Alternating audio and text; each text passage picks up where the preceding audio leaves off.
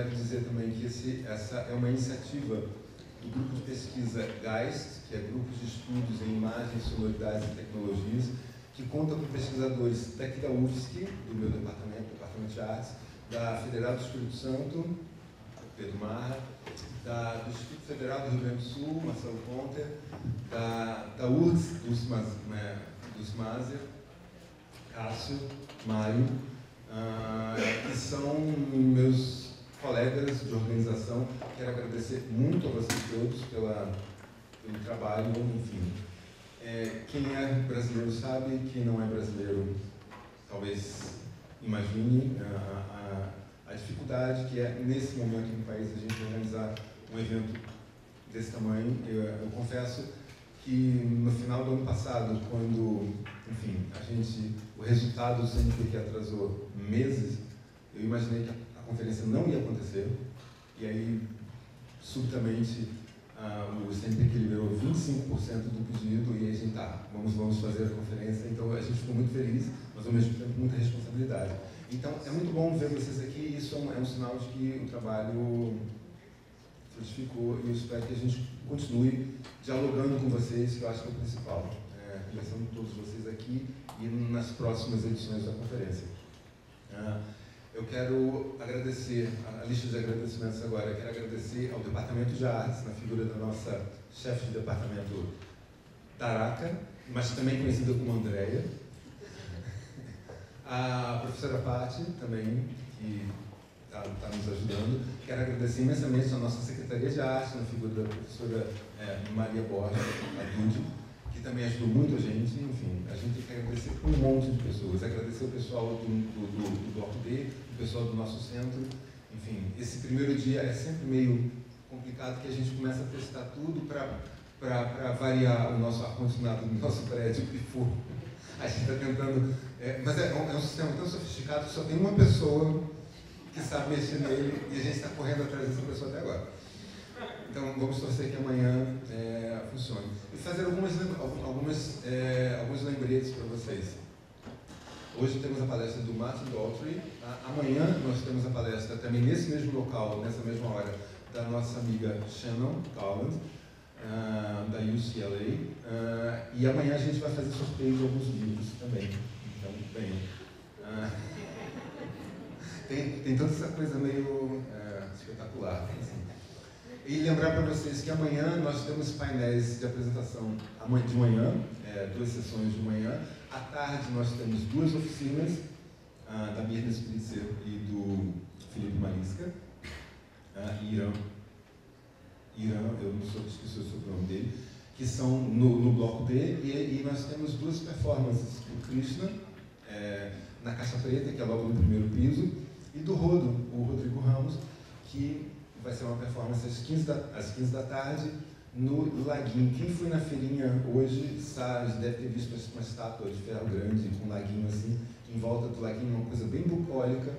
O Rodrigo vai fazer uma performance amanhã às 15 horas. Então, todos convidados a participar das performances e das oficinas. Tá? E na sexta-feira nós temos o encerramento com uma sessão de performances também na Caixa Preta, de vários dos participantes do, da conferência. Então isso é legal que nós somos pesquisadores e somos artistas também. Hã? Karaokê, então o Marcelo está lembrando aqui. Não é uma festa, é um convite. É um convite na sexta-feira à noite, após o encerramento, após, o, após a, a, as performances, tem um karaokê aqui perto da Universidade de Pô, na ruazinha. Então nós estamos convidando vocês quem quiser ir, quem quiser se aventurar, a nos acompanhar ao karaokê, enfim, vai ser divertido. Tá bom? Amanhã a gente troca mais informações. Enfim, vale demais. Eu quero chamar a professora Daraca só para falar duas palavrinhas. Em nome do departamento. É, obrigada, Zé. É, Bem-vindo todos. É, é, incrível o que o Zé e o grupo conseguiu né, fazer, de estar, tá, não só de ter uh, conseguido o, o apoio do CNPq e tudo mais, mas só com dinheiro não. Eles organizaram muito bem tudo isso, então todos os convidados, muitos, né, conseguiram chegar aqui num momento bem estranho do nosso país. Né?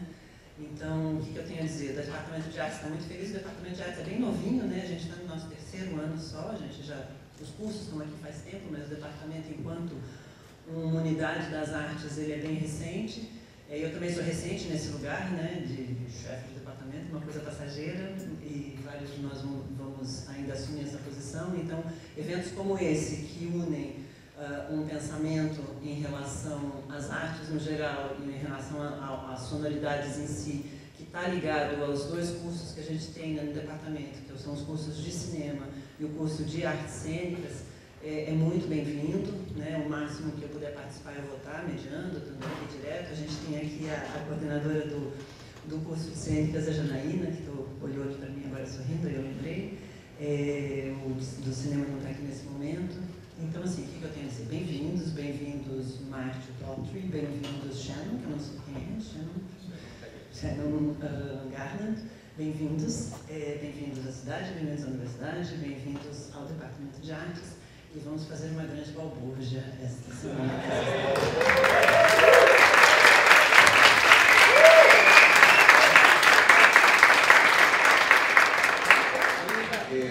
Só mais um último agradecimento, um agradecimento muito importante, o nosso bolsista Francesco Lim, que está. Uma salva de palmas para ele. E, e o nosso bolsista colaborador voluntário, Gabriel, que veio para cá também. Nada funcionaria se não fossem eles. Muito obrigado. Eu quero agora chamar o Pedro Marra, da Federal do Espírito Santo, para apresentar o Martin Dolphin. Muito obrigado a todo mundo. Aproveitem a palestra. Oi. Oi. Boa noite. É, só uma, outro recadinho que o, é, a gente combinou, mas você esqueceu aqui.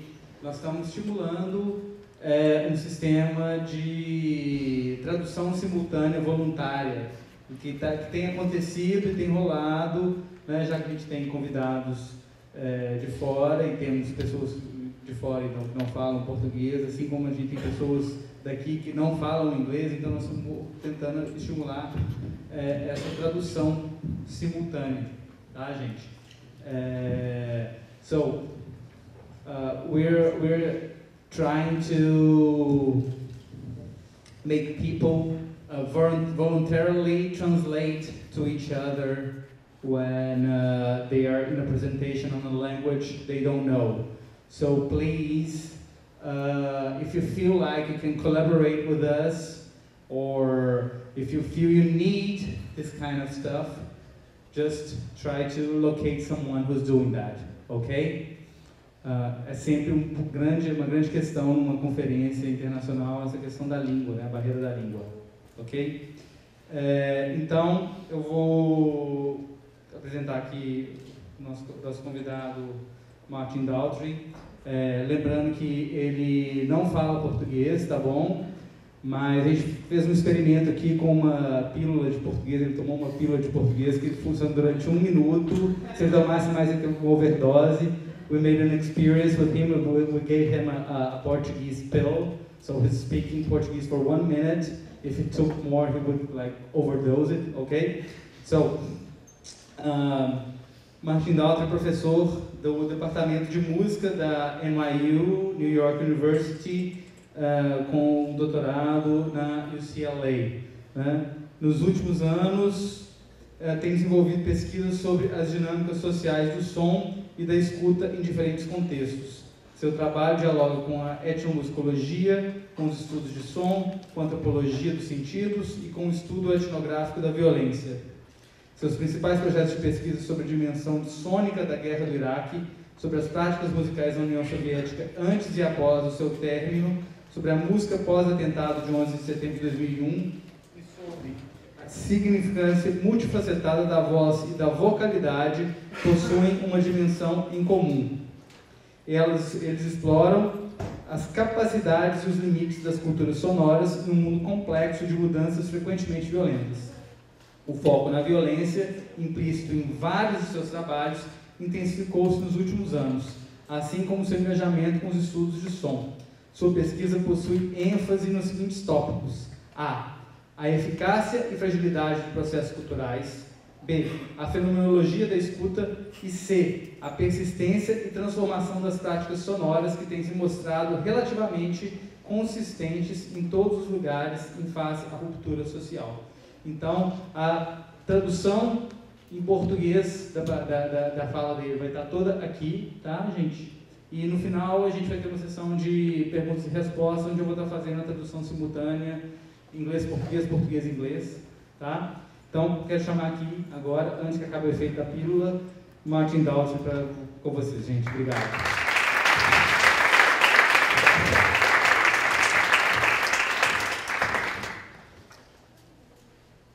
Colegas, camaradas, boa tarde. Quero, em primeiro lugar, agradecer a Zé Cláudio, Pedro, Marcelo, Dulce, Cássio e Mário por me convidarem a vir falar com vocês. E, em segundo lugar, agradecer vocês por dedicar o tempo a vir aqui hoje. Eu entendo que esse é um momento profundamente desafiador no Brasil, em que vocês estão lutando para manter suas universidades funcionando e independentes. Ao mesmo tempo, meu país está infestado de caos, com as forças da intolerância, da ignorância e do fanatismo trabalhando juntas para enfraquecer nossas instituições democráticas e prejudicar as pessoas dentro e fora de nossas fronteiras. We could say of my president, ele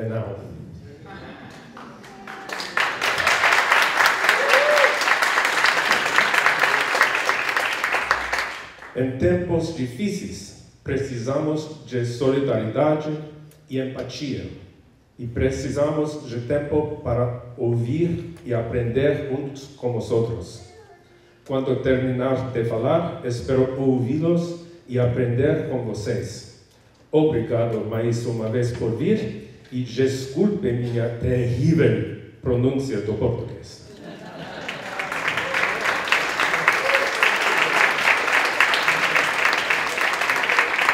And good night.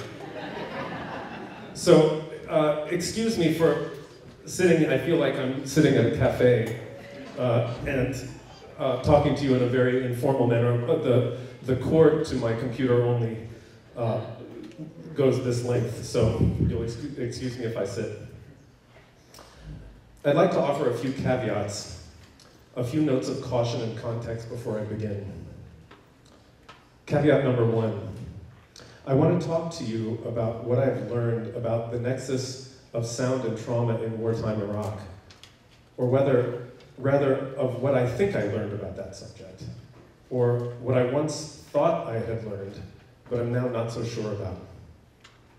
If you sense a certain deterioration of certitude in this opening sentence, you are on the right track, as humility, fragility, ambiguity, and uncertainty are some of the enduring qualities that this work has instilled in me. At this point, I don't even know for certain what sound is, let alone trauma, or what the true relation between them might be. These entangled entities each create a kind of impasse, something akin to what Derrida, drawing on the ancient Greeks, like to call an aporia. There's no circumstance in which we can get to the bottom of them, though it would appear that we are always obligated to try. Caveat number two. While I am at least officially a music scholar, my plan here is not to engage with music specifically, but rather to draw attention to the ground conditions in which human encounters with sounds take place. Sounds, of course, you don't need me to tell you this, include but vastly exceed the ones that we call code as music. I'm not going to deal with the weaponization of musical sound in US detention facilities in Iraq, or the use of music as a tool of reconciliation in the wake of the Iraq War, although these are important, even urgent subjects. All of this is to say that music is an aporia too, but it's one that I don't address today. Caveat number three. I will be presenting my knowledge, or quasi-knowledge, of this aporetic topic in a form that some of you may find a bit anachronistic. We are living in the age that Zygmunt Bauman, the brilliant Polish philosopher who died in 2017, presciently named liquid modernity, where the seemingly solid societal structures and categories that ground us are revealed to be increasingly unstable, in flux, fluid. At its poles, our planet is literally melting. And this literal melt, along with the existential liquefaction that accompanies it, has only sharpened the humanity's collective distrust of structuralist paradigms and empirical certitudes, and therefore of our ability to state, with the detached confidence of the scientist, sound is X, violence is Y, trauma is Z. One could argue that the belief that we could be detached observers of a stable world is what got us into this mess in the first place. This is how I feel anyway. And so my instinct is to always look for complexity, ambiguity, entanglement, messiness, and flow, and to be skeptical of the stable borders and boxes and firewalls and taxonomies and schema and other categorizing structures. But if I learned one thing in working with US military service members and Iraqi civilians on questions of sound in wartime, it is this. Do you people know the phrase, there are no atheists in foxholes? Have you ever heard that phrase? So, uh, this is a phrase that was widely attributed to uh, General Dwight D. Eisenhower, who subsequently became the US president. Uh, and, you know, I, I think its meaning is, is obvious. It means that in, in extreme situations of extreme precarity, even the most cynical among us may seek, you know, seek comfort in, uh, you know, in, in his instance, he was saying in, in, in some sort of a higher power. So, pace, Dwight D. Eisenhower, I don't know if there are no atheists in foxholes, but there are definitely no post-structuralists in them.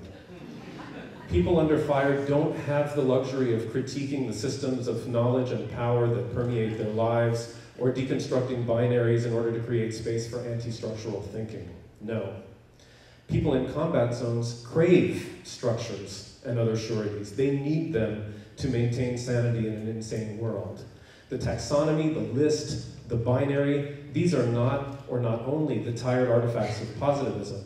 They're the kind of thing that Michel de Certeau called tactics of the weak, or in a different vein altogether, what Kenneth Burke in an utterance that later became associated with the novelist and blues scholar Albert Murray called equipment for living. They are, like the blues itself, thought edifices keyed to the task of survival. And so, despite my skepticism of things that project the illusion of stability, I'm going to talk to you today about structures. Structures of listening that my colleagues in Iraq and in the US military helped me discern by telling me their stories. To be clear, the names of these structures and their interrelationship are my inventions.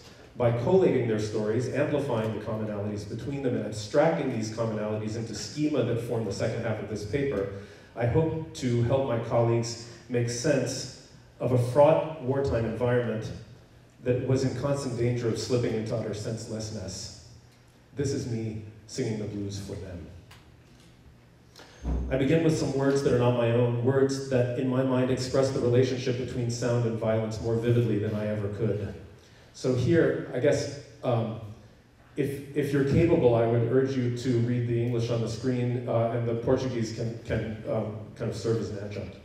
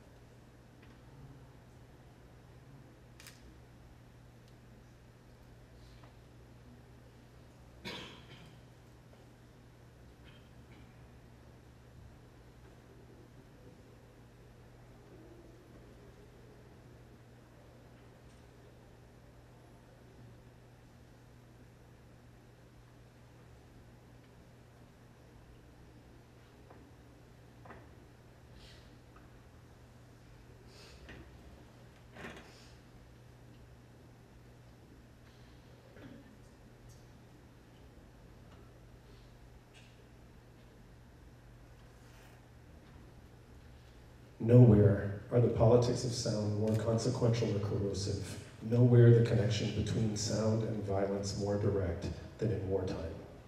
Throughout history, as these quotations attest, chroniclers of war have been transfixed by the sounds of battle, sounds that blur the distinction between signal and noise, between logos and affect, between acoustics and aggression, between biopower and necropolitics.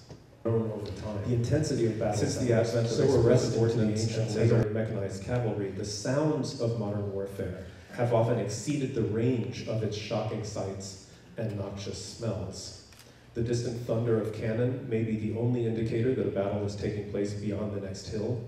The hissing shriek of a missile and the strangely melodious cooing of mortars in flight alert large populations to the imminent presence of as, presence of as yet unseen projectiles. The ground-shaking explosions of these munitions can terrorize or thrill auditors who then find themselves compelled to imagine physical carnage that they may never actually see. The 2003 US-led military intervention in Iraq was no exception. From the first sorties of the so-called shock and awe operation on March 21, 2003, a bombing campaign that was designed to be deafening, the sonic dimension of Operation Iraqi Freedom was a source of intense preoccupation and consternation for Iraqi civilians. With time, as the insurgency gathered strength, American military service members too became aware of their vulnerability to the intense sounds of combat. Like those exposed to combat before them, service members and Iraqi civilians have struggled within the confines of written language to evoke the urgency and omnipresence of wartime sounds. Here are some of their attempts.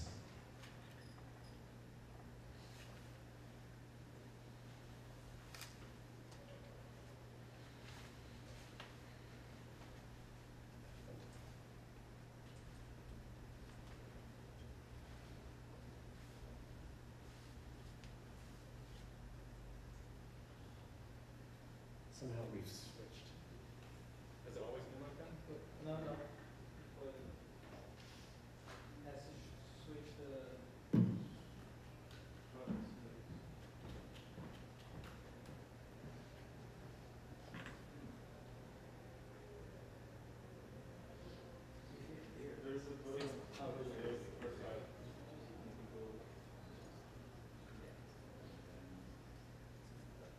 Tem, tem um primeiro botão, Marcelo. Quando ele, quando ele coloca a notificação, tem três botões em cima. Tem um não, Switch Displays. Vem aqui que Ah, terceiro aqui, onde slideshow. É, é. Isso aí. Aí, I just did Isso, that. primeiro aí. Não, não. Isso aí.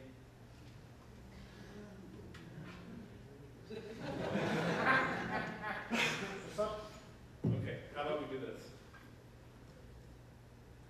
How about we do this? And then we do this. And then we do this. And then we do this. Yes. And then we do it right, and then we do this.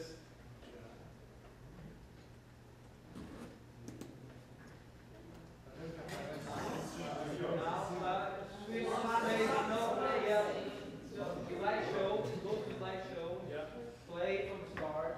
yeah. Now on the top left, switch What swap you know is display. Swap display. Swap. The top left. I don't have a swap display. Ah, okay, you have to see on the other screen. Okay, got it. Yeah, yeah. And Deu pause aí. Ele não tem então. Ah, ok. Swap displays, yeah, yeah, yeah. Aí. Goal! Okay.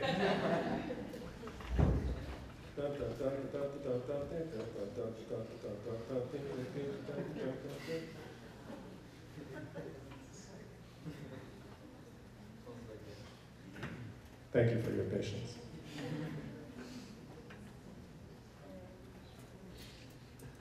Okay.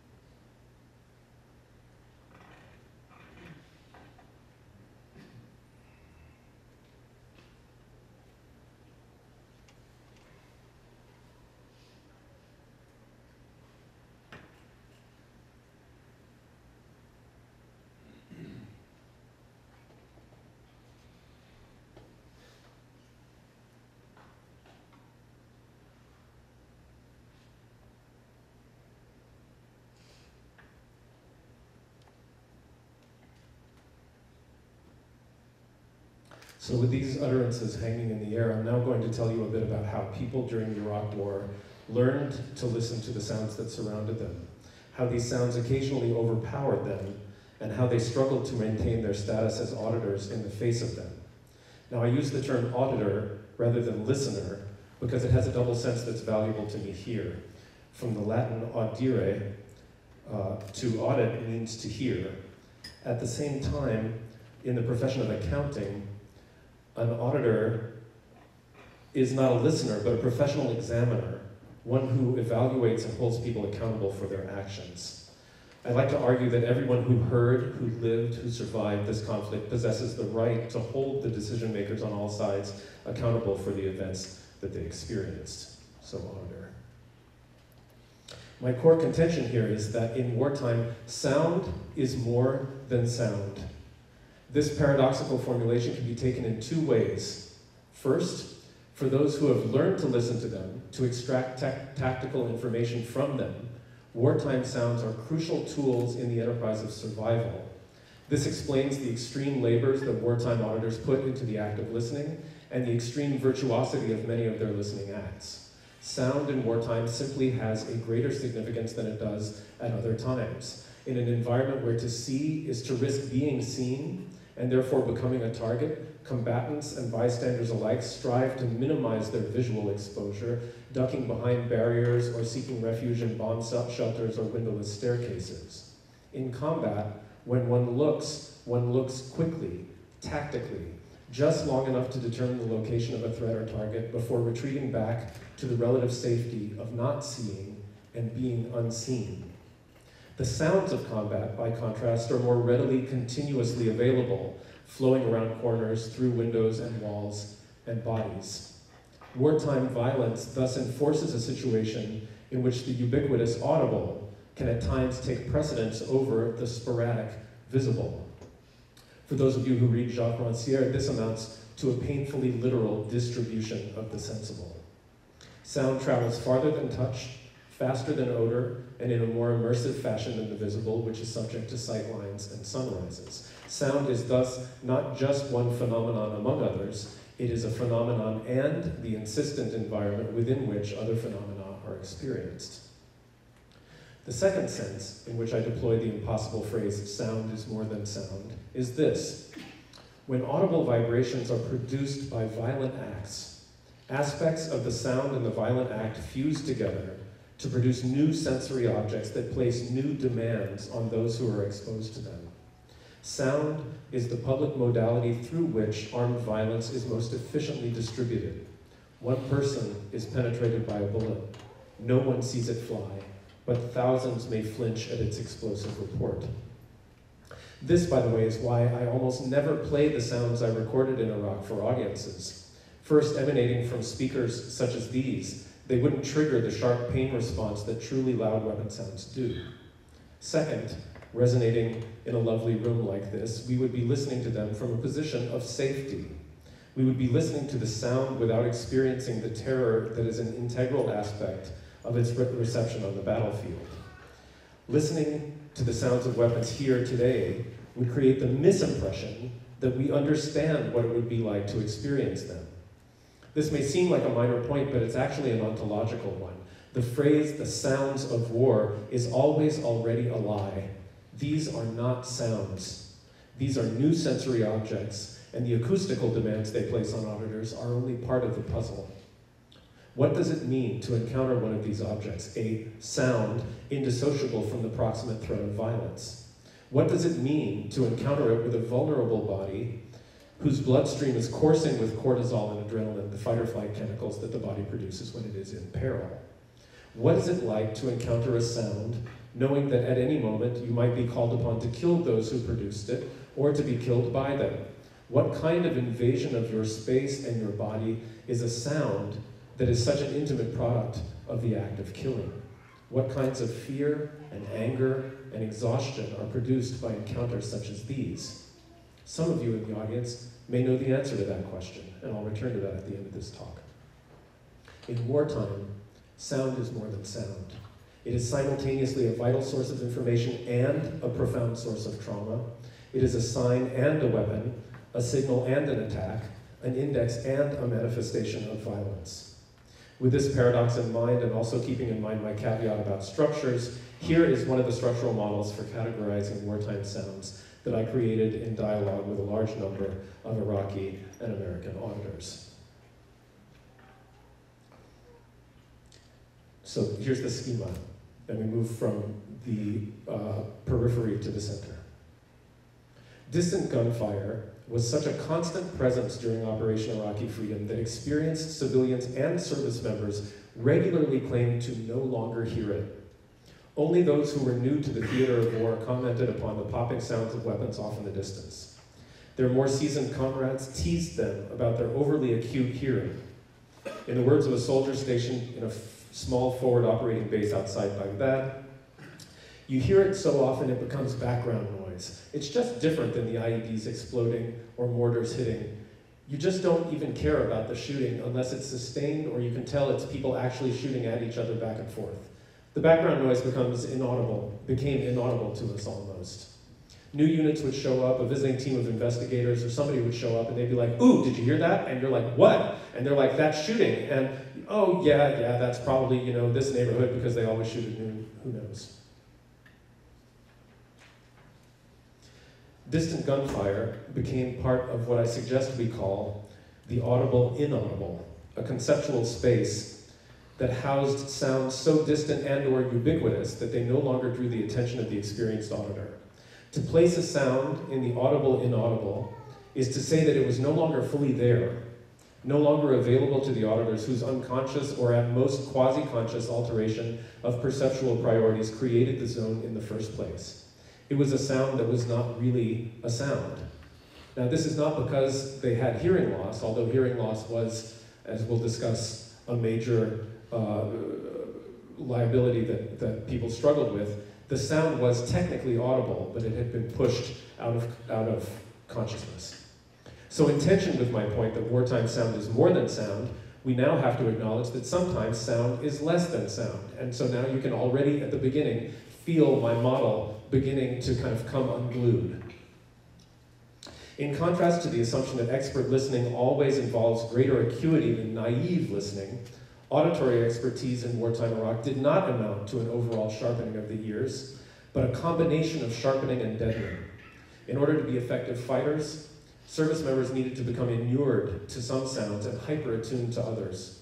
Iraqi civilians made strikingly similar moves. In this way, over time, experienced auditors in both of these populations came to embody the concept of an acoustic filter. Through repeated acts of listening, their mindful bodies learned to effectively amplify some sounds and attenuate others. For those who learned how to not hear the distant sounds of war, the audible inaudible amounted to a portable audiotopia, that's Josh Kun's term, a tantalizing zone of imagined quiescence where experienced ears could rest and jangled nerves could settle. It was also a badge of honor. Nearly all of my interlocutors, civilian and military alike, took great pride in their ability to desensitize themselves to the sensory material of violence in this way. They regarded it as proof that they were no longer green or inexperienced, but battle hardened or experienced. The distant, audible, and inaudible was one of several modes of inaudition or non listening that service members and civilians shared. One thread that ran through their testimonies was the importance of learning how to tune things out.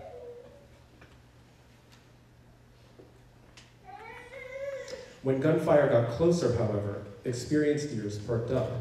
It was in the middle distance that most auditors began to pay acute attention to the unique sounds and approximate locations of particular weapons.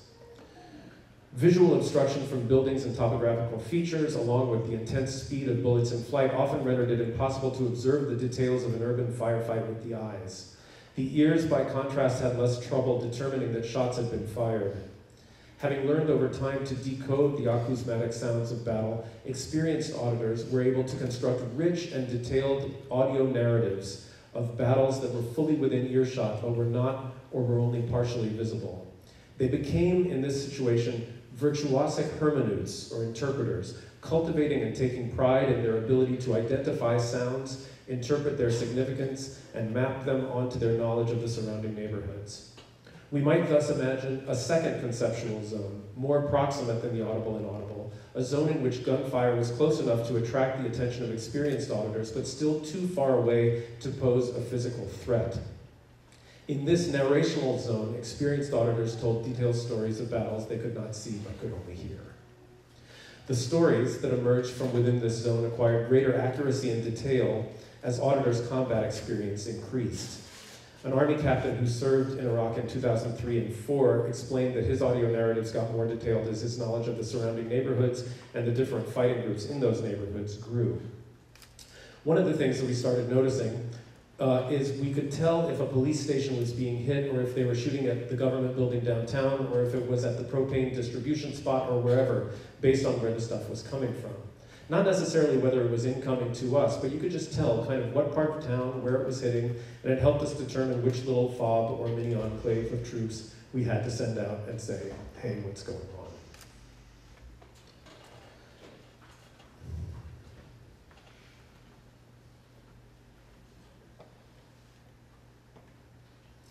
The sounds of weapons took on a much greater urgency when they signaled the imminent presence of projectiles or shrapnel in the spaces where auditors found themselves.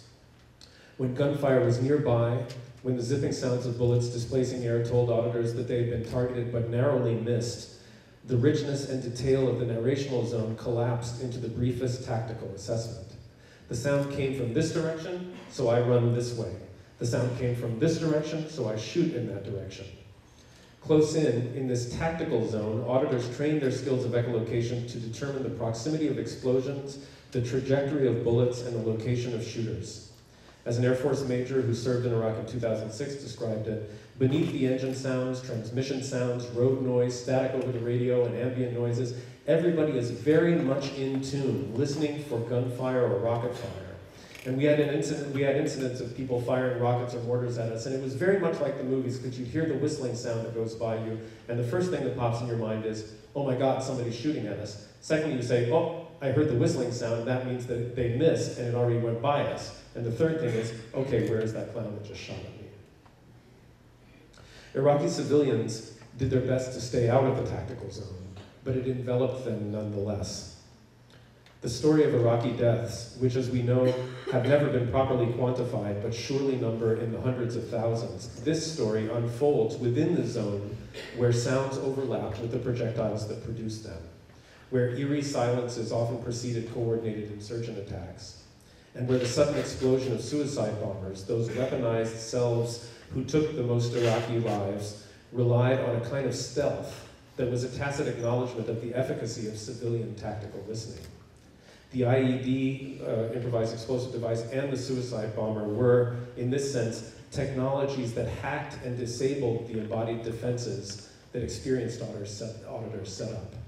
No amount of tactical listening could foil them, which made the tactical zone a space of heightened vulnerability and interpretive failure. In the tactical zone, people listened with their ears, but also with their skin, their chest cavities, the hair on the back of their necks, the pads of their feet, their viscera. The loud sounds of weaponry regularly bled into the realm of the haptic when they were this close up. When they were even closer and even louder, these sounds lost their capacity to serve as a resource, a text to be interpreted, an illuminating index of a nearby violent act. At the closest distances, the loudest sounds assaulted bodies, and they did so before any tactical judgment or meaningful interpretation could possibly be made. We thus need to distinguish one more zone, even more proximate than the zone where sound acquires immediate tactical significance, the space in which sounds produce physiological damage, the trauma zone. The physiological liability of time spent in this zone began with tinnitus and hearing loss, the two most common injuries sustained by military service members and civilians alike. At the same time, while the complex of psychological wounds that the Western medical community now calls post traumatic stress disorder can be sustained throughout this striated space of listening stances, it is particularly pronounced here, close in, where sound exerts its greatest corporeal and psychological effects, where its ontological excess is greatest. At the center of the trauma zone is the place where our epistemologies regarding sound break down completely. What we call sound is generally understood to be the aurally apprehensible presence of compression waves moving through a medium. The very compression waves that we hear as sounds, if they are sufficiently powerful and you are sufficiently near their source, are no longer perceived as sound or even as a blend of the auditory and the haptic, but as blunt force, the force of a large object smashing against your body. The signature injury of the Iraq War, the traumatic brain injury, or TBI, could be sustained when the supersonic blast wave of an IED explosion forcefully jostled the brain against the wall of the skull, creating small contusions that can manifest as a lifelong crippling disability, or worse. This very compression wave slows down and regularizes over time to become the sound of the explosion, which returns to the incapacitated auditor in the form of an echoic boom. Thousands of military service members and Iraqi combatants, and exponentially more Iraqi civilians, had their ears and brains permanently damaged by a perturbation of the air that was received as sound by those who enjoyed the luxury of distance. In the presence of sounds that inflict permanent and profound physiological damage, our terminology begins to fail us. At this level of intensity, we can no longer treat these sounds as texts, or speak of interpreting them, or even of listening to them, or even of witnessing them. Our auditory regimes and structures of listening are left shattered by these sounds that are not more than sounds, but not yet or no longer sounds. When listening ends and raw exposure begins, when sounds no longer herald death and destruction through their indexicality, but create death and psychological destruction through their sheer materiality, this is the terminal point against which we must calibrate the relationship between sound and violence. The Iraq War was responsible for countless such moments. At the thanatosonic core that stands at the center of the trauma zone, the connection between sound and violence is absolute. When faced with a sound that deafens, a sound that concusses, a sound that knocks you out and creates permanent brain damage, human agency is, if only temporarily, disabled. And life in the wake of such an encounter can be irrevocably altered or radically shortened. These sounds are not just more than sounds, they are more than us. Okay, a few notes in conclusion. What can we learn by thinking in terms of this striated space of heightened audition and inaudition? One thing that I've learned is that the very structures of listening that are key for survival become pathological when they are transferred to peacetime life. The militarized auditory regime people enter in wartime often exerts a, exerts a persistent form of power over auditors, holding them in its grip even when the danger lessens. This is one definition of post-traumatic stress, the, the inability of the body to exit the sensory regimes that it was forced into in wartime. Having entered a wartime auditory regime where sounds are more than sounds, having deadened oneself to the presence of sounds that are less than sounds, some auditors find these bodily habits difficult or even impossible to unlearn. The flashbacks, the hyperacuity and hyperaggression, and the emotional withdrawal associated with PTSD are entangled with the long half life of the sensory indoctrination that wartime survival demands. Another thing that I've learned is that in wartime and peacetime, inaudition and audition are tied to ethics. We all have sounds that we have learned to ignore. Uh, I live in New York City, and when I moved there, the, uh, the sounds of fire engines and tourists uh, throwing up, barfing uh, on the street outside my apartment building as they left the bars on Bleecker Street at 2 o'clock in the morning heading to the subway, those sounds would wake me up. Uh, after some period of time, they no longer woke me up, right? So I'm, I'm sure everyone, you know, we're, we're all urbanites of one sort or another, right? Everyone, we have these, these, the, this kind of ability, and it's not really a choice that we make, is it, right?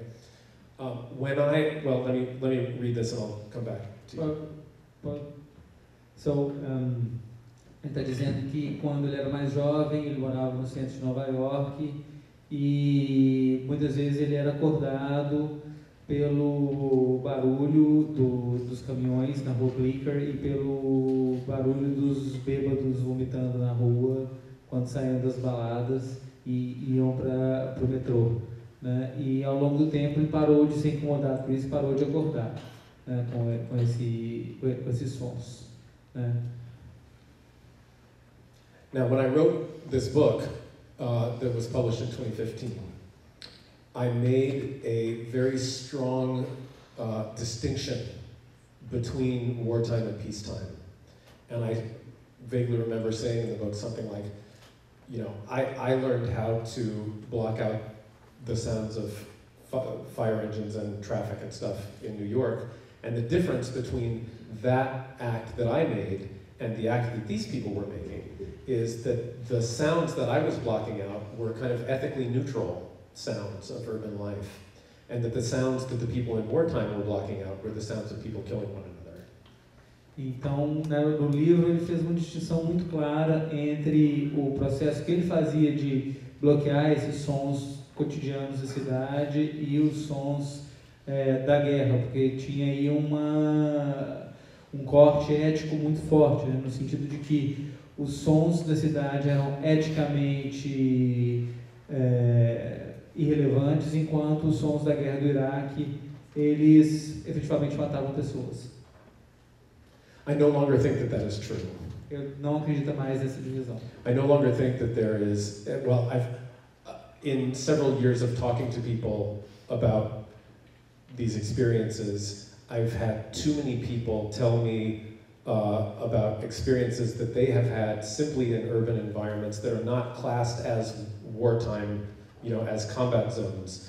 That uh, I, I now think that this is, this is another moment at which the sort of clean structure, the clean striated space, the Deleuzian striated space gets smoothed out um, by just the exigencies of, of life. É, então, conversando com as pessoas, ele não acredita mais nisso, porque ele ouviu vários relatos de gente que claramente não estava naquilo que a gente chama de zonas de guerra, mas que produziam uma, algo semelhante das zonas de guerra, que, tinha que tem a ver com esse momento em que aquilo que Deleuze chama de espaço estriado se torna é, liso, né, ou se vai, vai, é, vai se tornar liso. Okay. So we all have sounds that we've learned to ignore. I think that we can agree that ethical thought and action begin with an acknowledgement of the presence of the other. I see you, I hear you, and in so doing, I acknowledge that I might have some kind of responsibility toward you. That's sort of the ground condition upon which ethical action is, is, is built, uh, according to Levinas and others. If this is the case, then the zone of the audible and inaudible and the enforced inaudition of the trauma zone amount to a constriction of the horizon within which ethical thought and action obtain. In other words, if my zone of inaudition, of non listening, expands to the point where I no longer hear that you exist, I am not faced with the question of whether and how to act in relation to you. My mechanism of ethical thought and action is disabled. We've all heard about how war dehumanizes people, and that's an abstraction. But the audible inaudible is a very specific example of how this dehumanization takes place. It takes place with surgical precision through the vector of sound and listening. To be clear, I'm not blaming wartime auditors for no longer hearing the chatter of gunfire in the distance. In wartime, inaudition is not optional. Tuning out distant gunfire is an absolutely necessary survival tactic if you are to remain sane and alive. And the intense and traumatic, traumatic sounds that can knock you out are never encountered by choice. They are bigger than you. They force themselves upon you. These small moments of ethical disabling through non hearing are forced upon wartime auditors by the violent soundscapes within which they are suspended. What does this say about the relationship between humans and sounds? Wartime sound itself, the sound that is more or less than or too big or too fast to be a sound, this toxic chameleon may not be wholly deterministic of human behavior, but it does dictate a surprising amount of terms for its beleaguered auditors. By forcing them into an ethically degraded topography, the ubiquitous sounds of the audible and inaudible and the traumatic sounds of close contact demonstrate that they are in possession of the power, not us. And lest you think I'm anthropomorphizing these sounds, let's remember that they are always coaxed into existence by human actors who remain responsible for them, even though they might not intend them or be able to control them.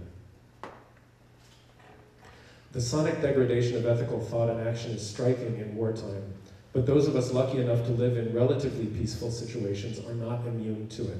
So this is, this is where I depart from my own, the argument that my book made. What legions of unacknowledged others lie within our horizons of hearing as a physiological act, but outside our horizons of listening as an intentional activity? What suffering, what precarity, what inconvenient lives do you and I submit to the anesthetizing process of inaudition? This is another source of my waning certitude. I thought I was describing wartime actions that were separate from me, but life intervened. In the end, and this is my conclusion, while I still think structural thinking is an important tool for people in precarious situations, I must admit that my listening zones have a lot of fiction in them. They are never as clearly delineated as I just made them seem, and no auditor moves with absolute confidence and virtuosity within them.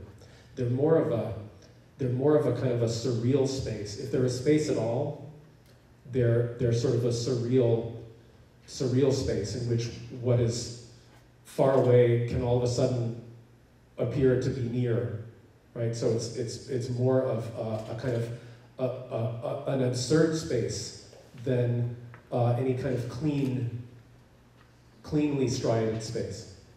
Então, é, o que está dizendo é que mais do que esse espaço tão bem delimitado, né, que vocês talvez tenha, que a gente talvez tenha seja um espaço surreal, onde de repente aquilo que está longe se torna perto, que é esse sentido de que o espaço estriado se torna vivo. I have a friend named Ben Harbert. He's an ethnomusicologist at Georgetown University in um, Washington, D.C. Ele tem um amigo que chama Ben Harbert, que é um etnomusicólogo em Washington, D.C. And Ben works, uh, among other things, he works in prisons, in American prisons. He's a sort of an, a, a music ethnographer of prisons. E ele trabalha em prisões, ele é um etnomusicólogo de prisões. And Ben and a very large number of prisoners have read my book. E muitos prisioneiros leram o livro do Daughtry. And the thing that they that they they agreed with a lot of they, they agreed that a lot of the listening skills that they developed in prison remarkably kind of track with these wartime listening skills that people developed in Iraq. Então, muitas das habilidades de escuta que os prisioneiros aprenderam quando estavam é, presos pareciam muito com as habilidades de escuta que os soldados aprendiam durante a guerra. But there were important differences as well. One of which was that that that perception of distance uh, when you are enclosed, when you are detained within a metal cell, their ability to sort of perceive what was close and what was far away was compromised. Mas tinha algumas diferenças, como por exemplo, que ah, o fato de quando você está trancado numa célula de metal pequena, é, uma das habilidades que se torna muito comprometida é de perceber a diferença entre distância e proximidade. And so it was in talking to him that I began kind of thinking about uh, things that, that my friends in Iraq told me that didn't really kind of make sense within my model, you know, and, and uh, it's just to say that uh, this, kinds, this kind of structured listening is the ideal that, uh, that it's, it's as good as it gets, really. It's, it's as good a situation as one can construct for oneself in a situation of precarity. Então, isso revelou para ele algumas coisas que, quando ele mostrou o modelo para os amigos é, que eram cidadãos, cidadãos iraquianos, ele mostrou o modelo e algumas coisas do modelo simplesmente não faziam sentido para a experiência iraquiana. Então, é como se é, esse modelo é o melhor possível, é o melhor dos mundos para se sobreviver num estado de guerra, digamos assim. And soldiers and Iraqi civilians want to be, they want to believe that they can, with great accuracy, discern one caliber bullet from another, um, a large explosion far away from a close explosion, you know, smaller explosion closer in. They want, they want, and they can often, but not always, right? So there's the, the, the, the thing that is not present here is a cloud of failure, right? Is the ever present, uh, the ever present potential for failure and the potential for the absurd or the surreal or the, the kind of illogical, um, the, uh, a kind of a surreal spatiality to, to take place. So if we could kind of make this make this model, which is which is individual to each person, you understand, right? Which is constructed by each person. If we could make it kind of uh, move in a sort of a nauseating fashion and put some clouds, you know, passing over it, then it would be a truer representation of what's going on. Então, é, os soldados durante a guerra, eles queriam acreditar, eles realmente acreditavam que eles eram capazes de, pela escuta, é, distinguir o calibre de uma bala, de, de, calibre de diferentes balas, é, o tamanho da explosão, a proximidade da explosão, e muitas vezes eles realmente conseguiam fazer isso, mas muitas vezes eles também falhavam. Então, o que falta nesse modelo seria uma certa nuvem de, de, de, de incerteza, né, que vai borrar os limites dessas zonas. All right. The infamous fog of war casts its dark shadows upon my zones, smoothing out their clean striations and causing acts of misprision among even the most confident auditors. Recently, as I was listening to a colleague describe her project on musicalized depictions of war on the Napoleonic stage, it hit me that my zones bear the same spectral, hyperreal relation to life that music does. And here, to be clear, I have to say I'm talking about music, the, the kind of music that we cherish, the kind of music that we value, music that is actually music. Uh, and I have to make that qualification because my colleague Suzanne Cusick and I have, uh, she primarily, uh, have spent a lot of time documenting incidents where in this wartime situation, the American um, intelligence services weaponized music and, and used it as an instrument of torture or interrogation for detainees. So I'm not talking about that music, uh, I'm talking about the music that we think of when we say the word music. I'll just go on. So back to music that is music. Just as a song about love is a radical intensification, reduction, and poetic distortion of the quality that it purports to describe, just as it cannot capture but can only gesture at the durational experience of love's banalities and complexities and ambiguities and entanglements, so does my model, any model, fail to depict any aspect of life. Songs and models are structures, and I think we agree that the structured nature of music is one of the things that makes it powerful for precarious people. It's part of what makes the blues equipment for living, in Murray's beautiful phrase. Songs and models like this are structures that purport to explicate, but can only evoke and provoke. They evoke moods without ever really cataloging their contents, and they provoke questions without ever really providing answers. And so I end with questions, more than I had when I began this project.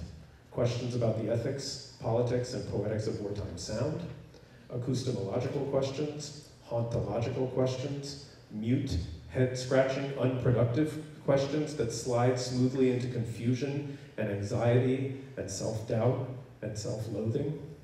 Questions that disappear into the inexhaustible maws of the aporii that appear to pull them out of me. I am hollowed out by these questions, and I imagine you are too. And if we are, and I hope you understand the conditional nature of we, I don't want to be making assumptions about you or you're an audience I don't know. You may have had experiences that are disconcertingly similar to those of the people in Iraq that I, that I spoke to. So, so you'll, you'll understand the scare quotes on that we. If we are, imagine the plight of the legions of selves who regularly experience extreme acoustical violence, people with whom you and I are multiply entangled, who have to live these issues and not just think them. So I leave the last words to them.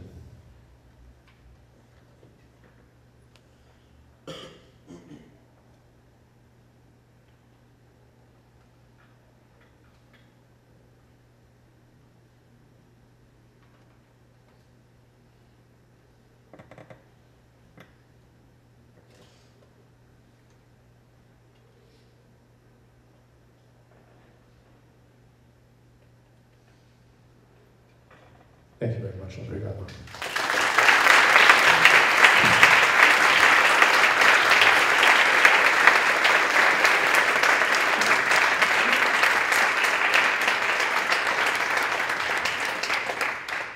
Bom, é, vamos agora para a apresentação de perguntas.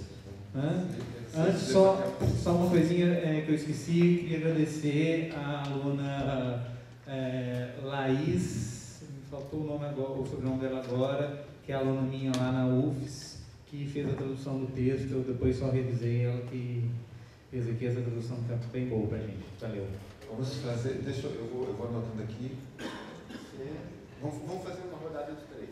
Você, o Henrique e Beatriz, tá bom?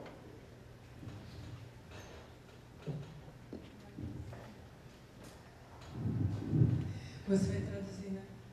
Eu vou traduzir, mas se você quiser falar em é, é, Não, inglês, melhor não falar sei. em português. Tudo bem, tudo bem. É, então, é, eu sou do Rio de Janeiro, né? meu nome é Inácio, e, e justamente com a, com a apresentação dele, eu lembrei um último evento da. Eu moro em Santa Teresa e aí a gente tem muita, mu- muito som de guerra, né? muito som de guerra, tiroteio. E a última vez foi tipo numa segunda-feira, 5 horas da manhã.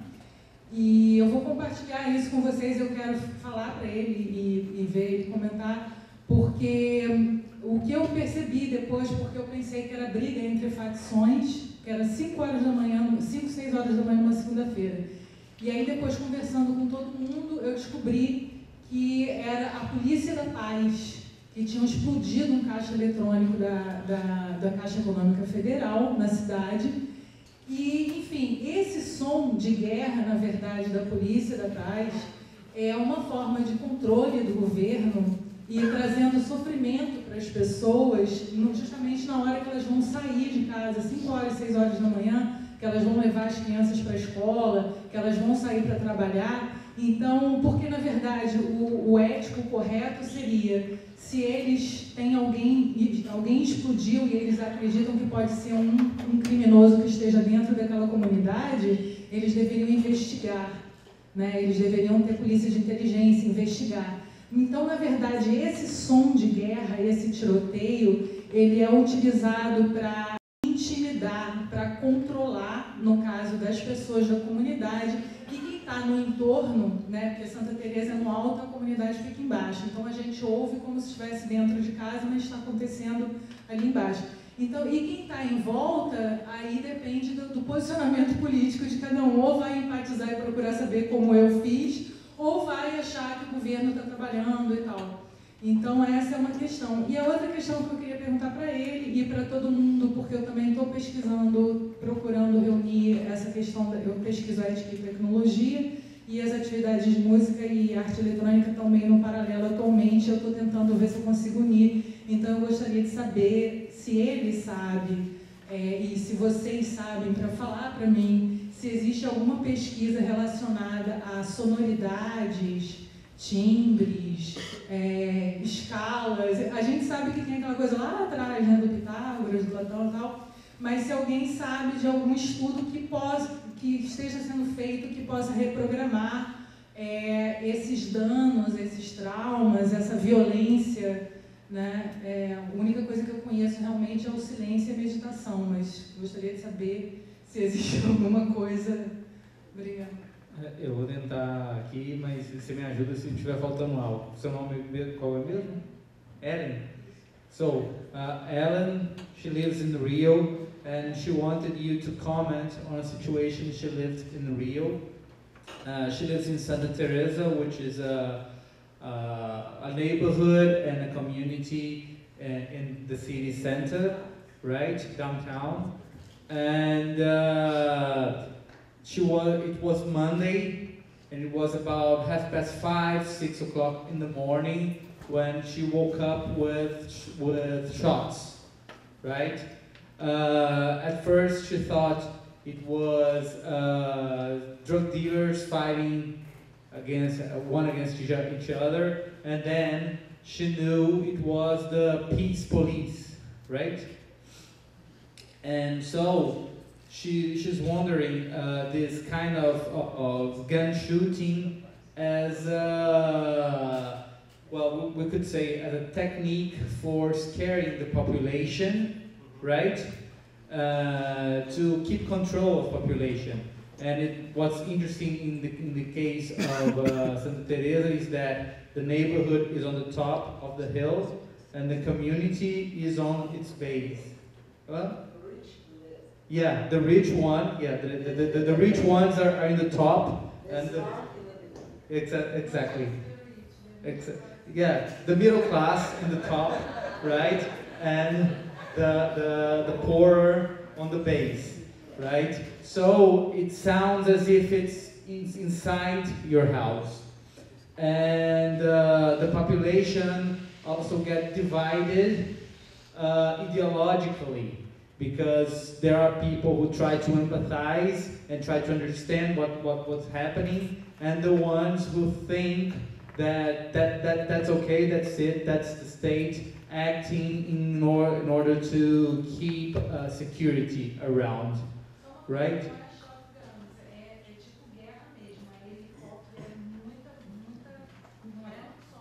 That this is not just shotguns, it's helicopters and explosions. And, and she's saying that this, this specific case uh, was due to an explosion of, uh, of, of an ATM in the city that made the peace police go up the, the, the Santa Teresa, right?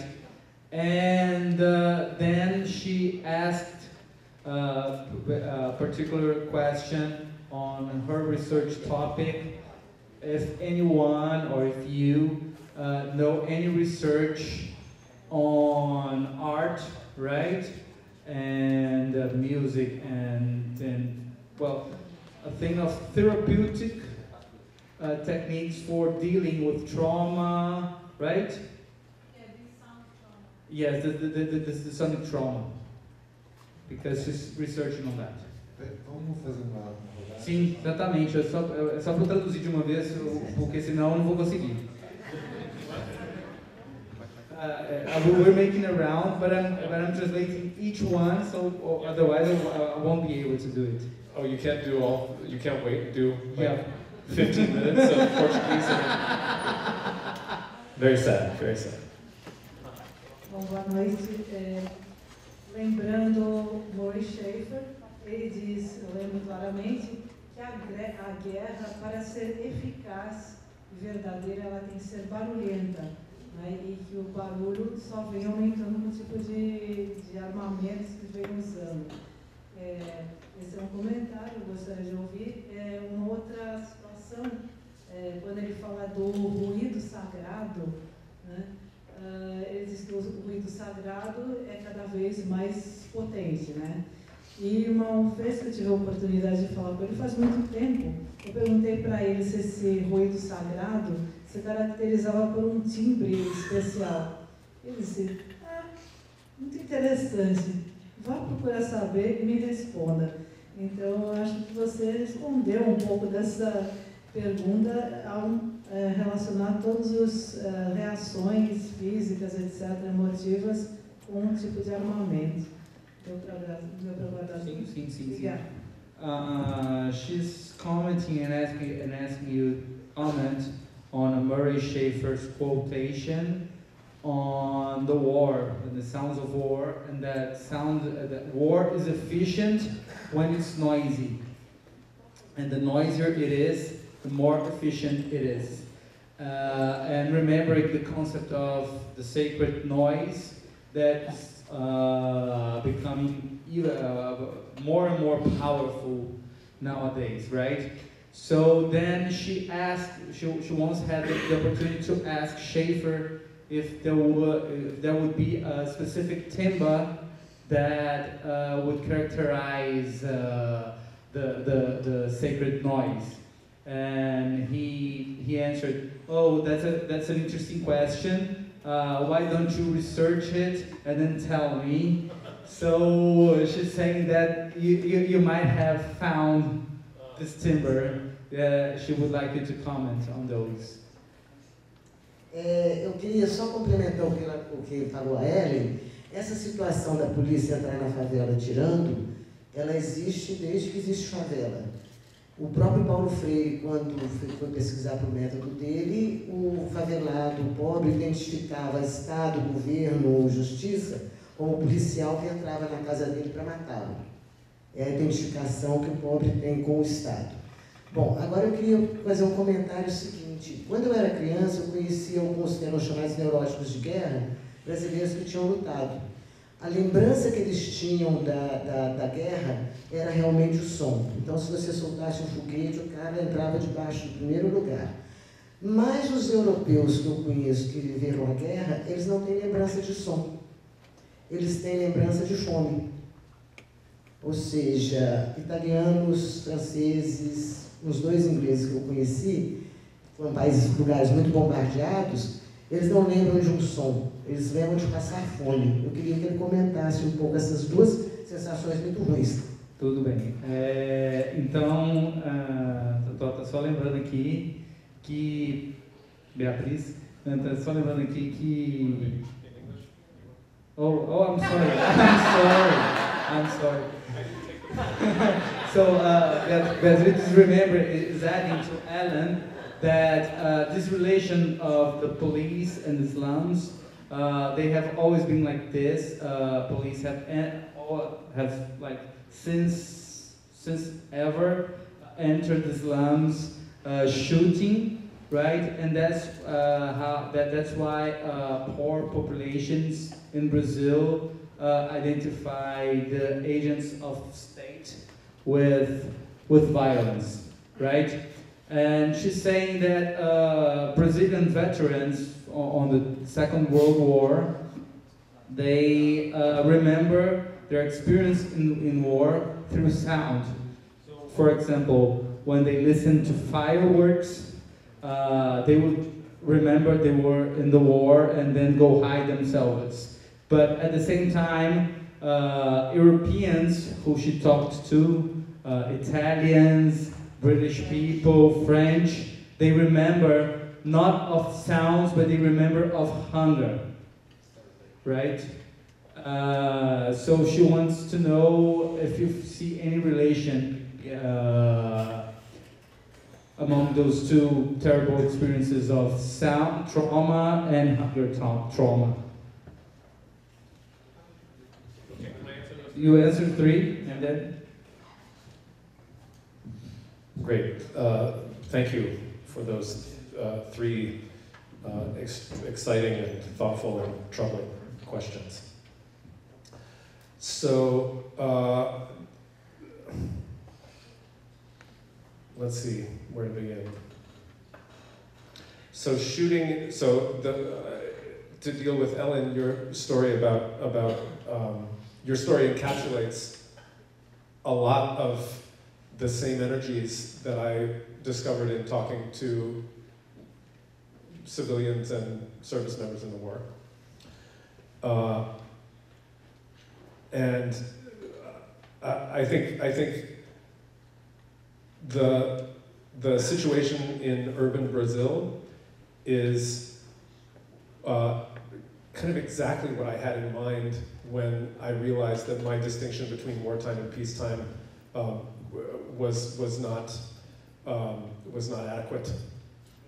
Uh, Brazil seems to sit right in between.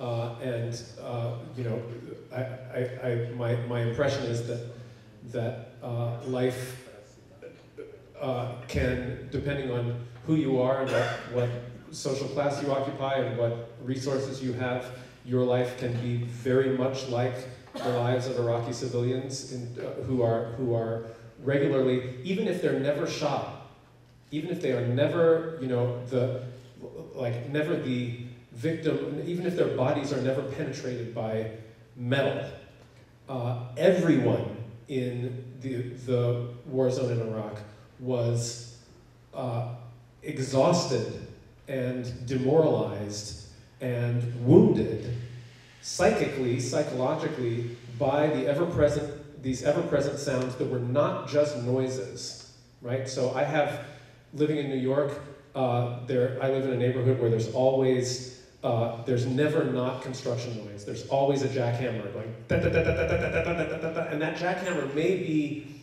depending on how close I am to it, louder than an AK-47 going da da da da da da da. But the, the, the, the fact is that for me, that jackhammer is, is annoying uh, and deleterious to my hearing, but not, uh, not weaponized in a way that, you know, it, like you could say that the sonic characteristics may be exactly the same, let's say for the sake of argument, right? Same decibels, same, same rate. But the experience is absolutely fundamentally different for people who are exposed to sounds that are connected with these acts of violence. So that's the, that's the crux of my argument. And I, I, I appreciate the fact that, um, that there are people in this audience who uh, have had direct contact with those sounds that are more than sounds. Okay. Uh, But that's not really my answer, that's the beginning. Yeah. That's Okay. Okay, okay, yeah. So, então ele está dizendo aqui que ele se sente muito, muito gostou do- do- do- da sua intervenção, né? E quando ele diz que tenta fazer uma correção, né, agora sobre os argumentos do livro, né, de, de, de separar a experiência da guerra da experiência cotidiana, ele pensa exatamente em lugares como o Brasil, que vive exatamente no meio do caminho, né, o, entre a guerra e o, o, a paz, né, digamos assim. E no caso aqui, é interessante também que tem corte social, porque dependendo do, dependendo da sua classe, dependendo da quantidade de recursos que você tem, você pode estar fora disso, você pode estar totalmente dentro e ter uma, uma vida é, em que você é muito pa- parecida com a vida de quem está na zona de combate no Iraque, né? Mas é, o que ele também quer deixar claro é que embora o som da britadeira, ele convive com o som da britadeira é, diariamente perto da casa dele, e embora o som da britadeira possa ser muito parecido ou até mais é, agressivo do que o som do AK-47, existe uma diferença fundamental entre o som da britadeira e o som da, K- da K-47. Elas podem ter o mesmo nível de decibéis, a mesma composição, é, é, ocupar o mesmo espaço no espectro harmônico, é, é, harmônico de frequências, né?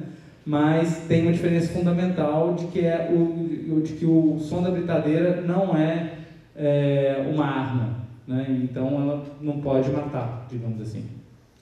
So in, uh, in Iraq, I had to make a distinction between, I'm, I'm now referring to um, this, the, the thing that now I think two people brought up about police using shooting as a technique for tr- controlling the population, right? So they're not necessarily shooting in order to kill people, but shooting in order to repress, right? Uh, that, that too went on. Uh, it was very common. Um, that was a common tactic of uh, Iraqi policemen before the war started where uh, they would they would shoot AK-47s, you know, up in the air in order to clear an intersection, and it was a tactic that uh, American military people learned from Iraqi police, uh, you know, to to sort of use in this very loud urban environment uh, where gunfire can kind of cut through uh, to to use uh, gunfire that way. And so I had to make a distinction between what I called uh, pure, pure acoustic weapons and hybrid acoustic weapons. There were some acoustic weapons that, that only made sound, and they were regularly used, you know, uh, like PSYOPs loudspeakers. Uh, but then there are these other things that, that kind of could cut both ways at any moment, right? Could turn from one kind of, one kind of weapon into another at any moment, or could be both simultaneously. And you could argue that uh, even when, you know, I'm, I'm shooting even when someone is shooting to kill someone else, they are they are the the sonic affordance of that thing, you know, uh, is far greater, exceeds that of the directional bullet that is going on. So so like a gun is always a hybrid acoustic weapon. Então, é, o que ele está dizendo aqui é que essa técnica de usar é, tiroteios como forma de é, amedrontar e controlar a população, ela também era usada é, no Iraque, inicialmente pela polícia iraquiana, que costumava usar as AK-47 atirando para o alto, né, para fazer o barulho e assim dispersar a população. E essa técnica foi aprendida pelo, pelo exército americano que também começou a usar essa técnica como forma de é, limpar a, a, área. Mas o interessante é entender que o som da arma é, ele sempre vai ser um som que é em si uma arma, né? Porque se eu atiro em você, né, mesmo que o, o tiro não atinja o nosso amigo do outro lado, né, ele também vai ser atingido pelo som da arma e vai pensar que ele pode estar sendo também alvejado. Né? Então, é, existe a, a, uma questão, sim, ele não falou esses termos, mas no livro aparece muito a, essa questão de que a violência, a, violência sonora ela sempre é omnidirecional, ela vai para todos os, os lados. Omnidirectionality of violence yeah. through sound. Yeah. I think Pedro and I need to co-write an article together because I sense that his his translations of my answers are much better than my answers. So it's like we, we definitely need to be work on this together. So um, about the ideological divisions uh, between populations, uh, that too tracks with my experience. Uh, my, I, I, one of the quotes that I had was of an Iraqi friend of mine named Tarek who was complaining that the Chinook helicopters that would fly right over his house were so, the, the sound of them was so profound that uh, the dishes would, would, the sound would cause the dishes to fall off the table and crash. And so he complained to the American authorities who, who were operating the airbase right next to him. And they said, you don't understand, the helicopter is the sound of freedom, right? So, the, you know, there was this, this attempt, right?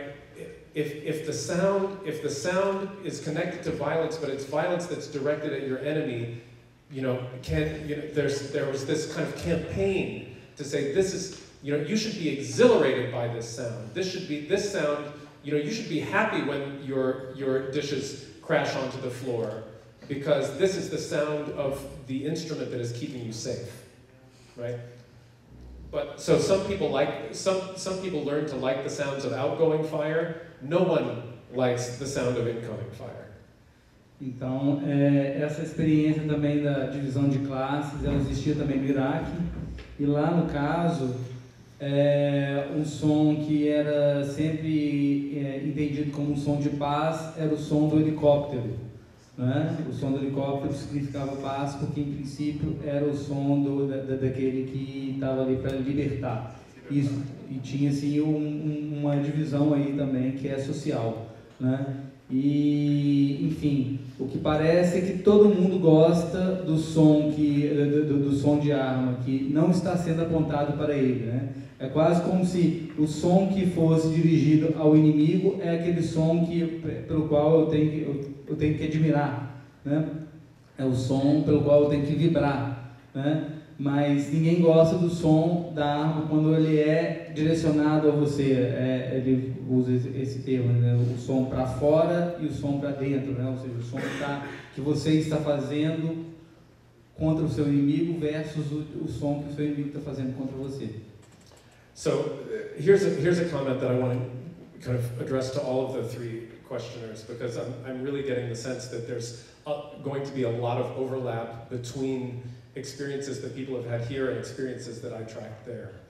Uh, there's an anthropologist named Carolyn Nordstrom who has done uh, ethnographic work in a number of war zones in Mozambique and in Bosnia and other places. And she says there is something, there, there is a difference between being in Mozambique and being in Bosnia uh, and being in Central African Republic and being in Iraq. Translate that part first and then we'll... Então, é um outro comentário que ele, tem que fazer, que ele quer fazer, que de alguma forma está é, endereçado a todos, todas as três perguntas, é de que é, ele conhece uma, uma antropóloga, que, é etnógrafa, que fez trabalho de campo em diversas áreas de guerra, né, Moçambique, Bósnia, etc, etc, etc. E que, embora tenham uma semelhança, na verdade também é importante pensar que a guerra é diferente em cada lugar. Right, so there's a difference. There, there's a difference.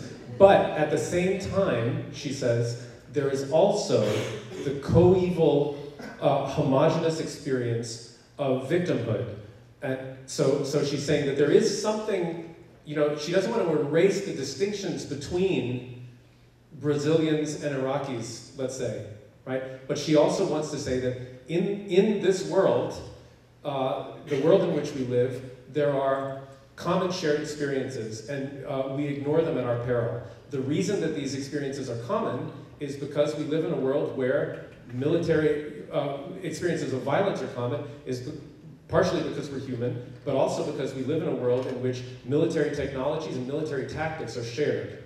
They're globalized, right? So, so you know, it's, it's a difficult ethnographic, political, ethical problem to grapple with. You know, how to, how to acknowledge the distinct aspects of life while also acknowledging that, that you know, we, live, we live in a world where ideologies between our two countries are, are shared, right?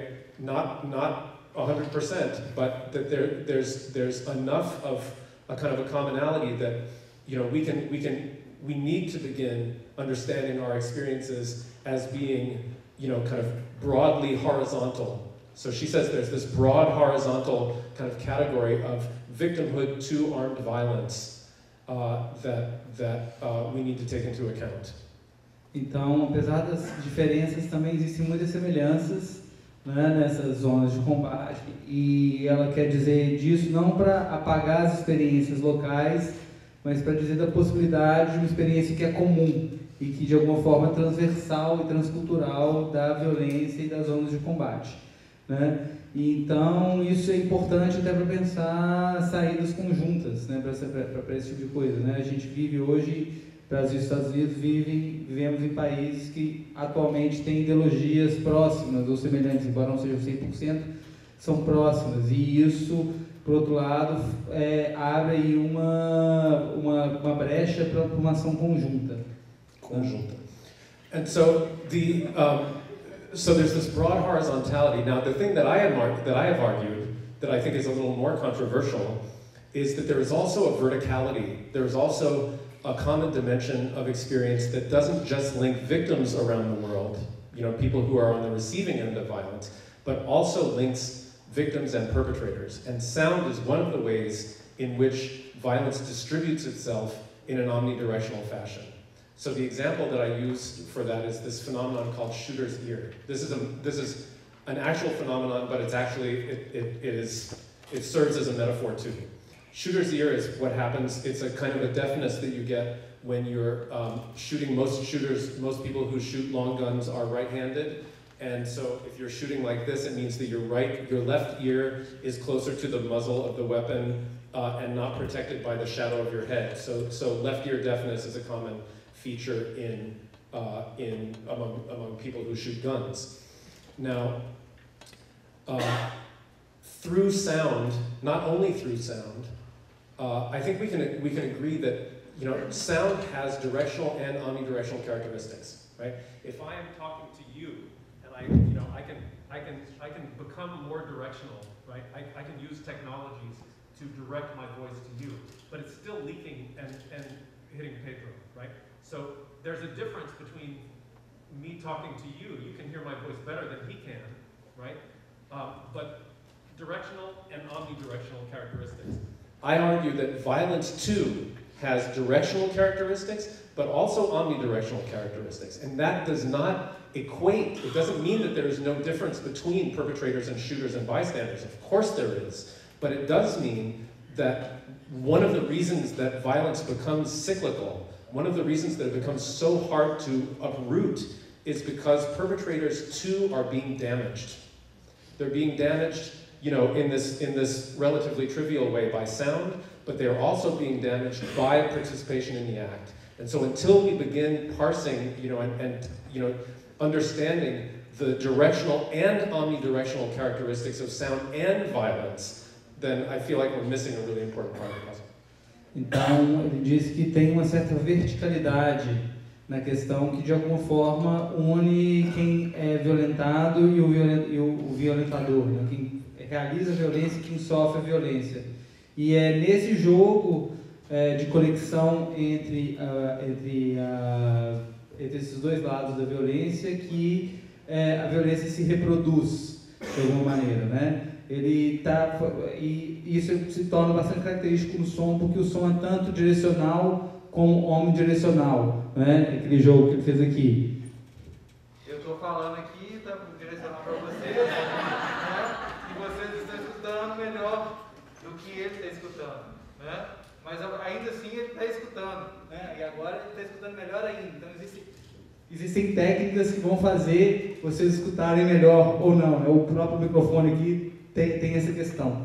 Mas, enfim, o ponto é que se, se é, não quer dizer que a violência sofrida por aquele que comete a violência e por aquele que sofre é a mesma violência, mas é, o próprio ato de cometer a violência é um ato que volta violentamente contra quem age violentamente. E é nesse jogo que a violência se, se, se continua e se reproduz.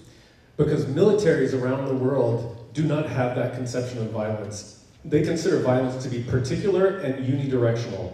First off, they don't consider violence to be, they don't consider their acts to be violent at all, because it's not a violation, right? So they would just call it something neutral like action.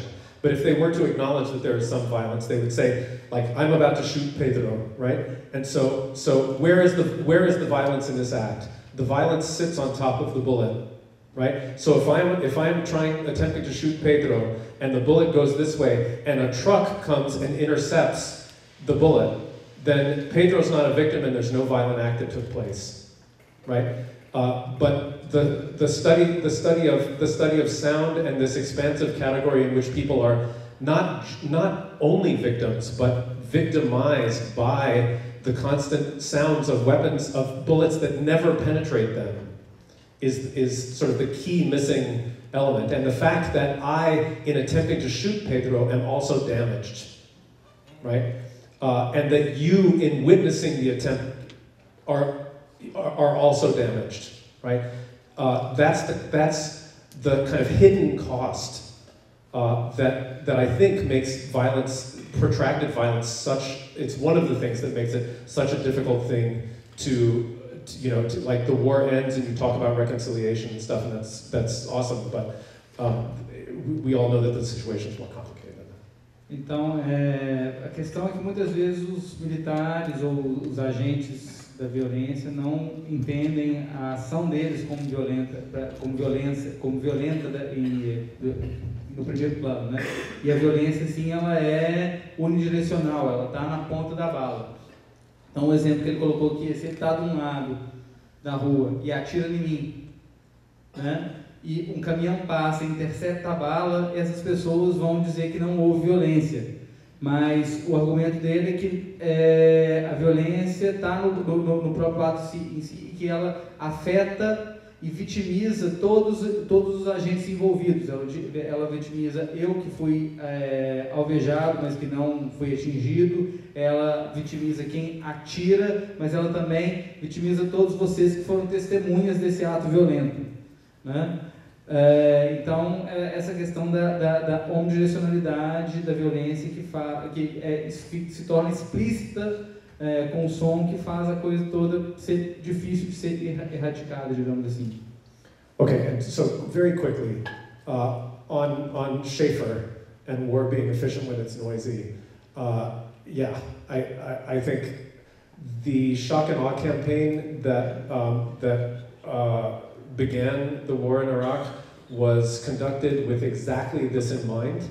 Uh, it was, I don't have the exact quote here, but the goal of the, the initial bombing campaign in the Iraq War in March 21st, 2003, was to disorient and psychologically defeat the enemy by overwhelming his sensorium.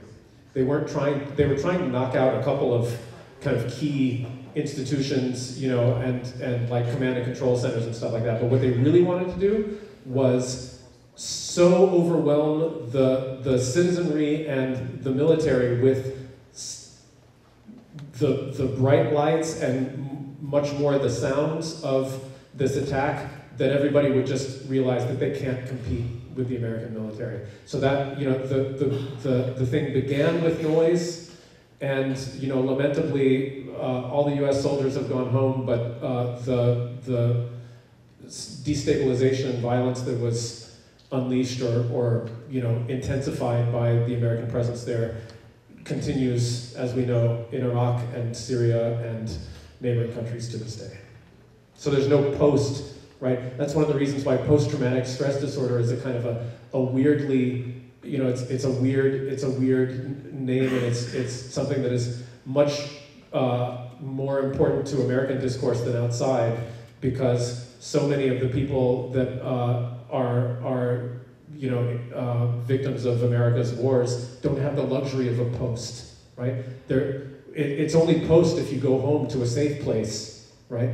Uh, and uh, we created an unsafe place where those, those behaviors that I've just tracked are still absolutely necessary.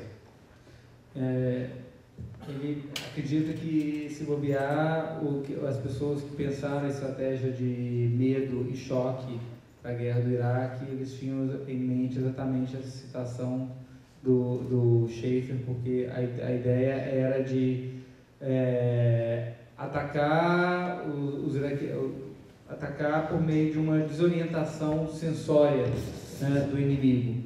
Né, é, e isso coloca em questão a, a própria questão do trauma né, da guerra. E, por outro lado, é, não exatamente erradica a violência no Iraque, mas intensifica essa, essa violência no lugar. E, ao mesmo tempo, mostra absurdos de, absurdos de categorias como o distúrbio, distúrbio pós-traumático. Só é possível ter um distúrbio, distúrbio pós-traumático para aquele que volta para sua terra. Quem permanece no Iraque permanece num lugar que está extremamente inseguro e continua vivendo aquelas, aquelas experiências. Né? Então, não existe um pós-trauma para o iraquiano. O pós-trauma é do americano que volta para casa. Right, and then very quickly on Brazilian World War II vets having memories of sound and European um, uh, people having memories of hunger. Uh, I think that's a really profound observation, actually. Uh, and it, it just, it, it draws my attention to a couple of things. One, that um, uh, the, that reason might have to do with the fact that, that, that positionality matters uh, in war. But uh, more interestingly for us in, the in this conference, I think it draws attention to the fact that there's never just listening, right? There's always, listening It's always taking place in a, a body, not an abstract body, but a body that has uh, you know, a particular chemical composition and, and you know, set of st stabilities and vulnerabilities, uh, you know, at that moment. Uh, and it's and some of those, some of the some of the qualities that inflect listening are are human, are universal. Some are um, are national. If we had time, I'd tell you a story about like a, national difference in, of listening in the Iraq War. Um, some are, are what we would call cultural. Some are what we would call communitarian. Uh, and some are what we would call in, individual. And some are what we would call even kind of micro-situational. So how do we even how do we even do what we do? How do we talk about listening as if it is a unified thing when it is so radically contingent? You know, so listening listening through hunger is certainly a different thing. You know, I've I've been you know, I haven't I haven't starved ever but just in my own, you know, super bourgeois life, I've, you know, if I go to a concert and I don't, on an empty stomach, it's, you know, it's, it's terrible. Uh, so, so uh, this just speaks to, I think, the, the, the difficulty of this, uh, the difficulty of work on uh, human processes like this, because it's, it, it stretches the bounds of language to do justice to the simultaneous universality, cultural specificity, individual specificity, and, and radical situatedness of any act.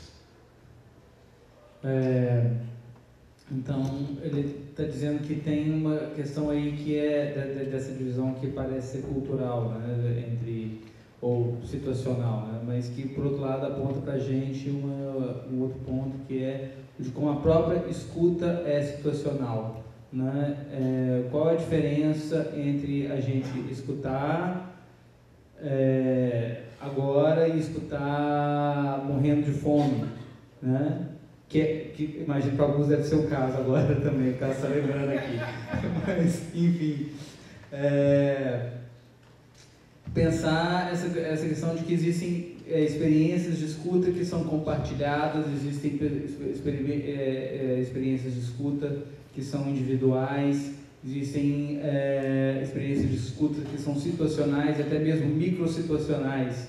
Né? Então a escuta é, um, uma, é algo contingente, né? está dependente, e ele nunca é, passou fome como provavelmente passaram as pessoas que participaram da Segunda Guerra, mas ele já consegue minimamente imaginar o que pode ser isso quando ele pensa é, da situação em que ele entra num concerto de música com fome, né? Mas é a gente pensar que a gente nunca está simplesmente é, escutando e, sobretudo, que a escuta acontece é, situada em um corpo, um corpo que dá essa contingência ao sentido da escuta. Acho que é isso. Ah, gente, muitas perguntas, é porque eu só vou pedir para a gente tentar ser o mais sucinto possível nas perguntas e, e na tradução, tá? porque senão a gente não consegue fazer muitas perguntas. Assim. Deixa eu. É, eu não vi quem levantou primeiro, vou Shannon, Odo, e depois a gente tenta fazer uma segunda rodada. E aí eu acho que a gente vai ter que encerrar, tá?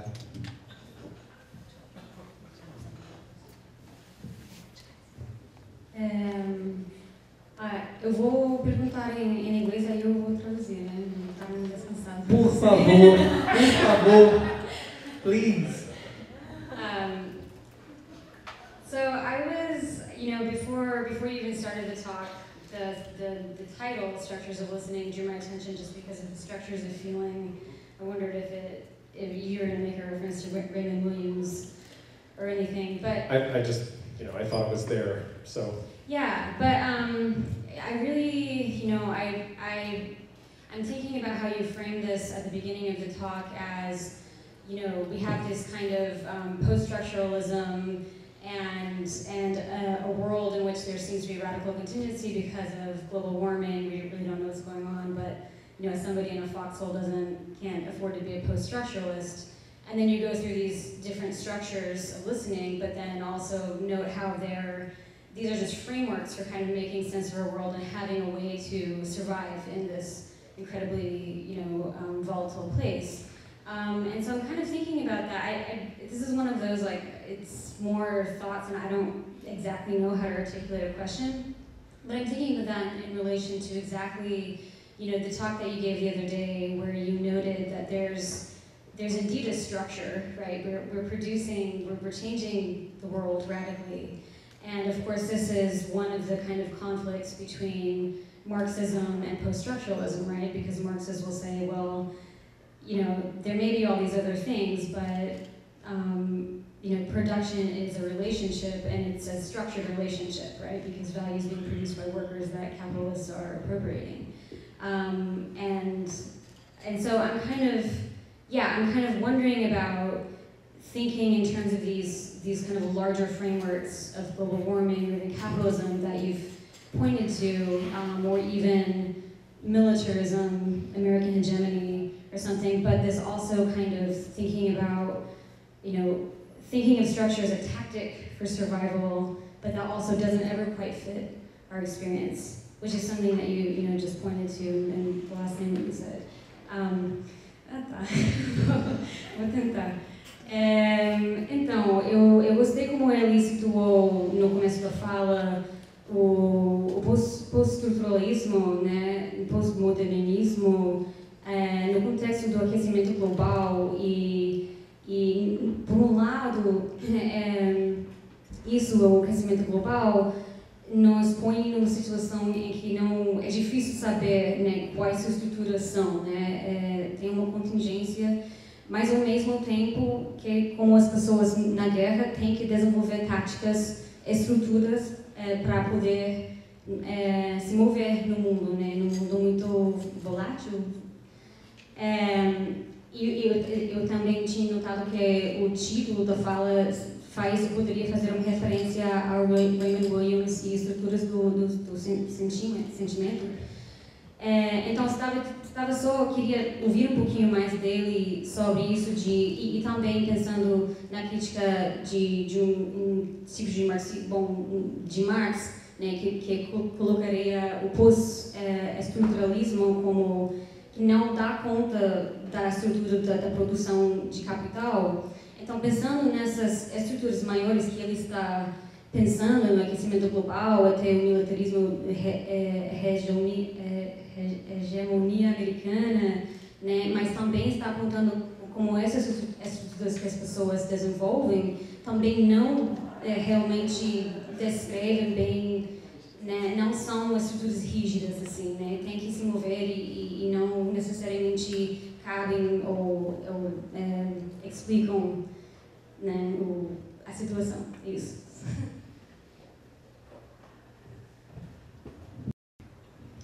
Boa noite. É, vou fazer a pergunta em português e como o Pedro ficou tão feliz de não ter que traduzir a pergunta do Shannon, eu também vou, depois eu traduzo a minha também. É, uh, eu estou interessado em saber se o Martin vê conexões entre, uh, também, não sei se eu entendi muito bem, se eu entendi isso a partir da pergunta, uh, aquela diminuição da esfera ética que a gente alcança com os nossos sentidos, né, que diminui quando a gente está exposto a uma situação que requer da gente que a gente crie estratégias, né? E, e entre esse, esse, esse, fenômeno dessa diminuição dessa esfera e outro fenômeno de, do crescimento de um, um outro, uma outra esfera que é mais é, individualizada, né? que é uma esfera de fone de ouvido e de conexão de internet e que está super ligada com um processamento algorítmico, né? que é, vai trazendo conteúdo e que vai colocando a gente em contato com, com pessoas e com, enfim, é, diversos tipos de, de mídia, né? So my question is, um, I'm interested in, interested in what you said about the limitation of our sphere of action, uh, of ethical action, if I understood it right. If I didn't, that's a part of the question. Um, when we are um, under some situation that uh, requires that from us. And uh, a relation between this, um, uh, mean, uh, the, the, sorry, I lost the word. So that, that our sphere is getting smaller, connection between this, and the uh, amplification of another sphere, which is um, quite individualized. I mean, uh, headphones and internet connections, and uh, a lot of content that we receive and that we um, in touch with, and that, that are um, kind of routed to us by algorithms. I mean, uh, playlists and contacts. I mean, people that we uh, talk to and social media networks and stuff like that.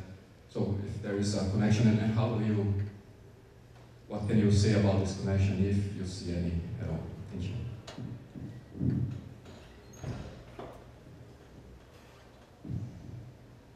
Bom, vou fazer a pergunta em português e você traduz. É, eu achei o tema muito interessante, assim, vai muito com a minha linha de pesquisa também. É, quando eu realizei né, o espelho sonoro, que está exposto ali na, na entrada do, do bloco é, o que me motivou a fazer aquela escultura foi ver uma foto de um soldado no abismo, beirando um abismo, um soldado inglês, na frente de um espelho sonoro, tentando ouvir o som do abismo de um possível inimigo que talvez viria um dia em um zeppelin. Né? Ele ficava ali 12 horas para tentar escutar um possível ataque inimigo. Depois foi descobrir que a maioria dos soldados eram cegos, tal, eles recrutavam cegos para fazer essa escuta, né, possível ataque. E pensando nessa tecnologia né, de, de guerra, sem, né, da Primeira Guerra, já tem 100 anos e tem né, todo o seu desuso, mas ainda gera toda né, uma, uma evolução tecnológica, né, eu pensei, tá, se a gente ressignificasse essa tecnologia de guerra no, no contexto contemporâneo, no contexto né, pós-guerra no contexto artístico. Né? Daí foi essa ideia que eu tive de ressignificar uma estrutura de guerra num ambiente, um outro ambiente. Né? E pensando nessa, nessa forma, nessa estrutura, como ressignificar objetos de armas, né? É, armas em práticas artísticas ou de utensílios contemporâneos, né? mas ainda assim pensando na arte sonora, né? a gente pensando quais outras possibilidades que teríamos né? para isso. Assim. Ah, pensando ainda mais assim, né? eu tomo como o Estado é o inimigo, eu estou sempre pensando que a gente tem que fazer atos revolucionários.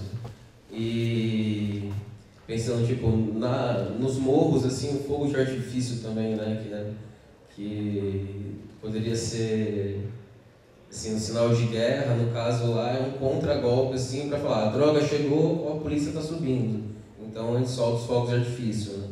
é, nas manifestações aqueles apitos para desorientar cachorros tal né? Também é, que só uma frequência super alta desorienta os cachorros eles ficam um pouco perdidos é, eu fico pensando em qual, qual estrutura, qual, como utilizar, reestilizar estruturas do poder contra o próprio poder. Né? Eu faço uma peça né, com um grupo chamado Erro, chamado Jogo da Guerra, em que convida várias pessoas da, da rua, manifestantes, para ser ativista político, ou seja, pichar a igreja, sujar o banco, que, né, trazer o caos para a cidade em nome da guerra. Quando a polícia chega, a gente finge ser uma peça de teatro, ou seja, a gente começa a cantar ciranda. Então, como utilizar a estrutura do poder, a ressignificação do poder contra o próprio poder? Assim? Um, he sees lots of similarities among his his work, uh, his artwork that, that is there in front of Bloco, Bloco D. uh, and what he told today here because he was inspired on the, the acoustic mirrors uh, in England, and he he he notices that uh, the the soldiers who were in the acoustic mirrors they were blind, uh, as if they could be uh, better listeners, waiting for zeppelins and stuff like that.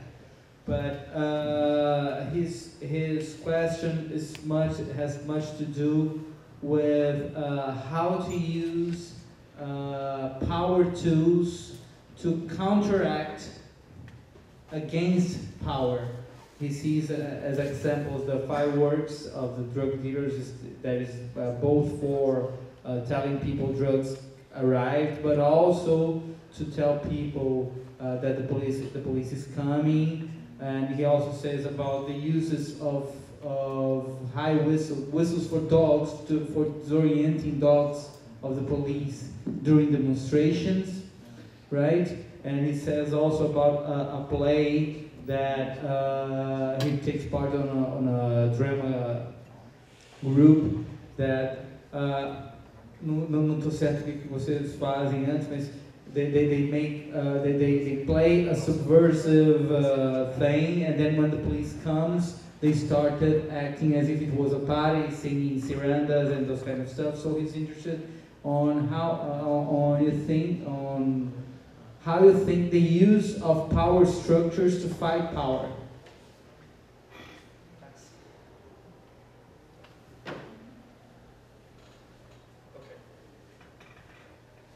Okay. I'm going to try and be briefer than I was with the first round of questions. And so it's not me being rude, it's me being, trying to be nice because I realize that we're over time. Um, so Shannon, uh, I, I, I, take your point. Uh, I do not intend to say that, nor do I say that there are that there are no there, there are no structures, right?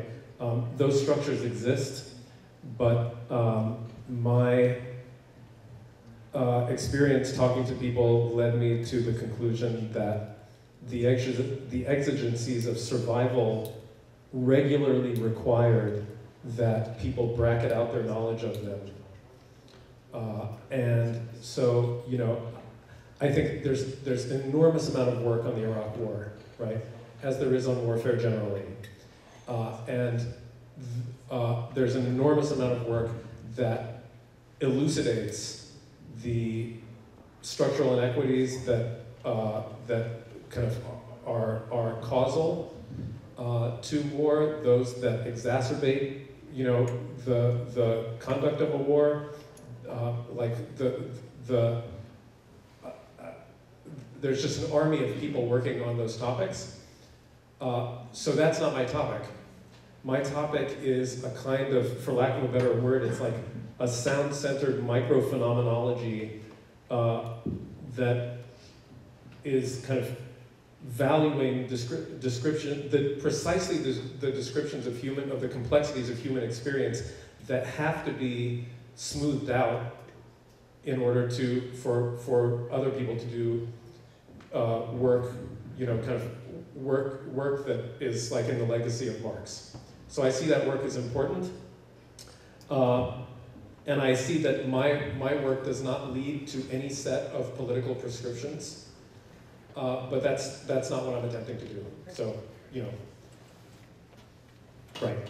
Uh, and I'd love to talk to you about that more. Uh, as for the limitation. Can, can, I, I I will forget. I'm sorry. Okay.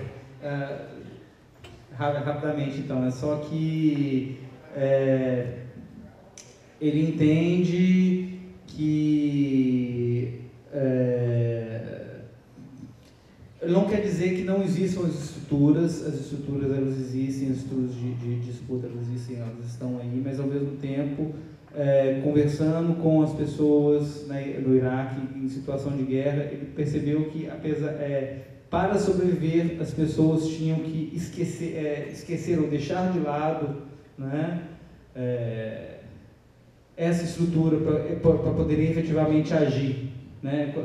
É, sim, já sou eu interpretando, é como se as pessoas tivessem introjetado essa estrutura de tal forma como se elas não precisassem de agir, de, de pensar nessas estruturas para poder agir. E se você para para pensar na estrutura, você vai morrer se, no meio do tiroteio.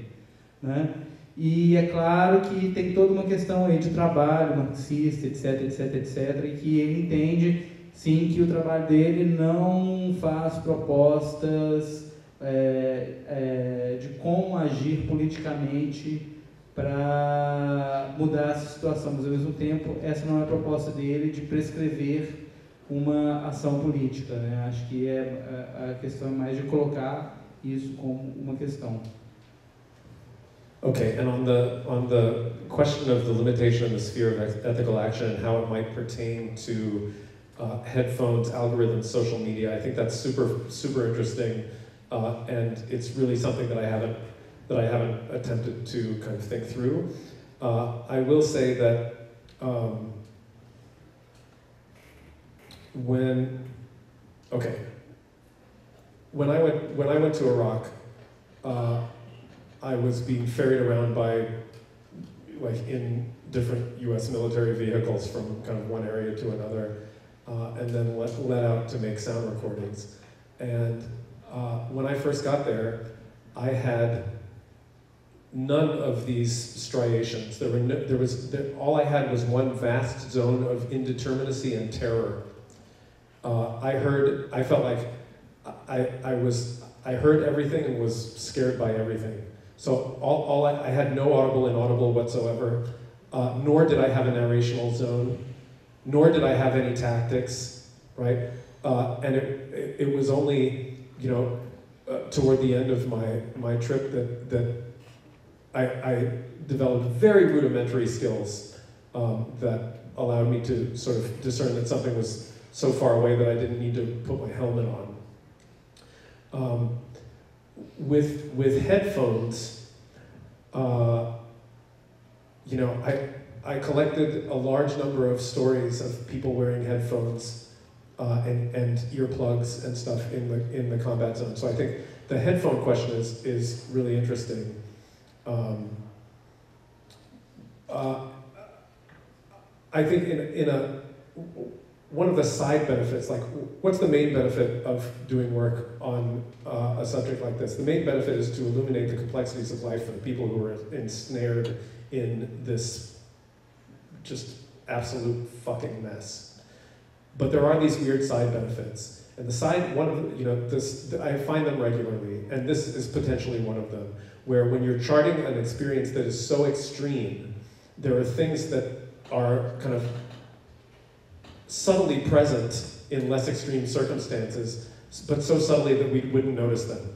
So, um, you know, the, the, the ethical ramifications of putting on headphones in a war zone are, are stark.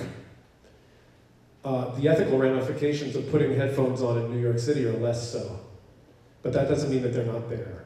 So this is me saying that I'm, I, I want to think through with you what, what a project, you know, on look, looking at looking at that kind of that kind of active closure uh, and the the you know more mechanized closures that uh, that other technologies kind of involve for us.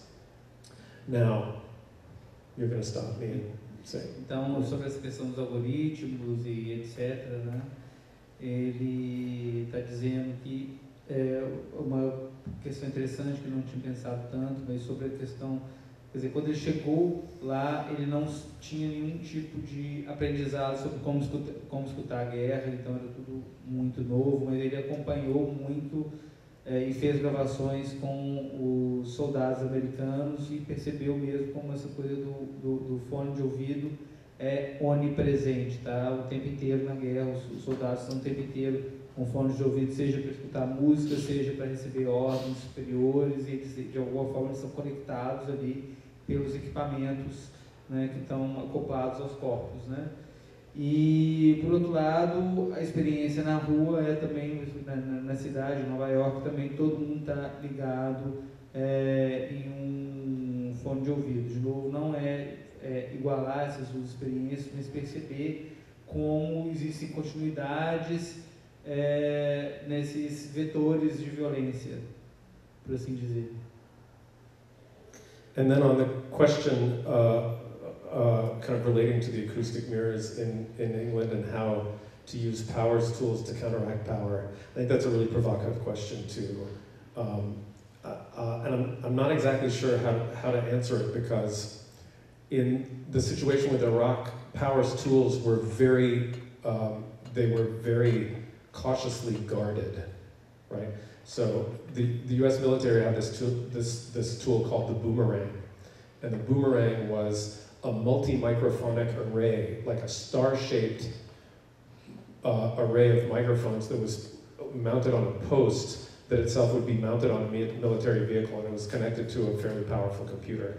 So the, the boomerang could, could, could detect the sound of uh, a bullet whizzing by it anywhere, anywhere within a certain range of the vehicle.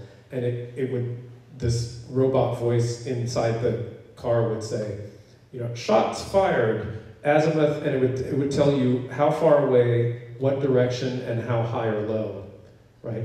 With a far greater accuracy than any, than any person could, could possibly do. So that was, you know, the, the US military has you know, invested literally, you know, billions upon billions of dollars on these technologies that, that, that were not available to other people. The military also had uh, very, you know, state, at that point, state-of-the-art headphones that amplified soft ambient sounds, but um, there was a little piston that would kind of pop into place at the second that uh, an impact sound would happen. So they would protect the ear against an impact sound, but uh, amplify. So it really was like a kind of a cyborgian um, kind of a thing. Now, what did Iraqi civilians have? They had fucking, they had cotton balls, right? They had cotton balls. They had Nyquil.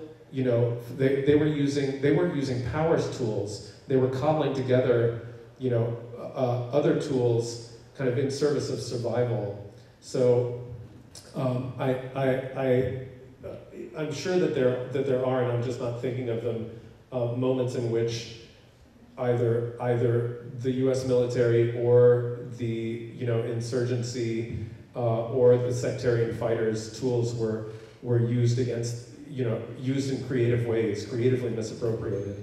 But, um, but I think those, uh, you know, the, the most moving appropriation, the most moving kind of survival tool that I, that I encountered was when I put the quote up there, you know, this Iraqi grandmother whose you know, who was terrified by the sounds that she was hearing, but was listening empathically as, as if through the ears of the young children of her grandchildren who were in the house, knew that they would be more scared than her. And so, what tool did she have at her, her exposer? She, she had literally just her arms. And so, you know, she, she embraced, she created this, this fleshy microacoustic territory for, for these children within which the sounds were less scary than they were outside, right? And there were just so many incidents of these, these you know, sort of creative improvisatory techniques uh, that, that, that's what moved me more, you know, so, so yeah, I hear, I hear what you're saying, and I'm, and I'm really interested in uh, the use of kind of off-the-shelf technologies uh, in a, in a, in a uh, kind of a subversive fashion. And I'll just need to think about that more in the Iraq context. É, ele achou a pergunta muito boa, eu também achei é, comentário, mas ele quer realçar a questão de que existe uma.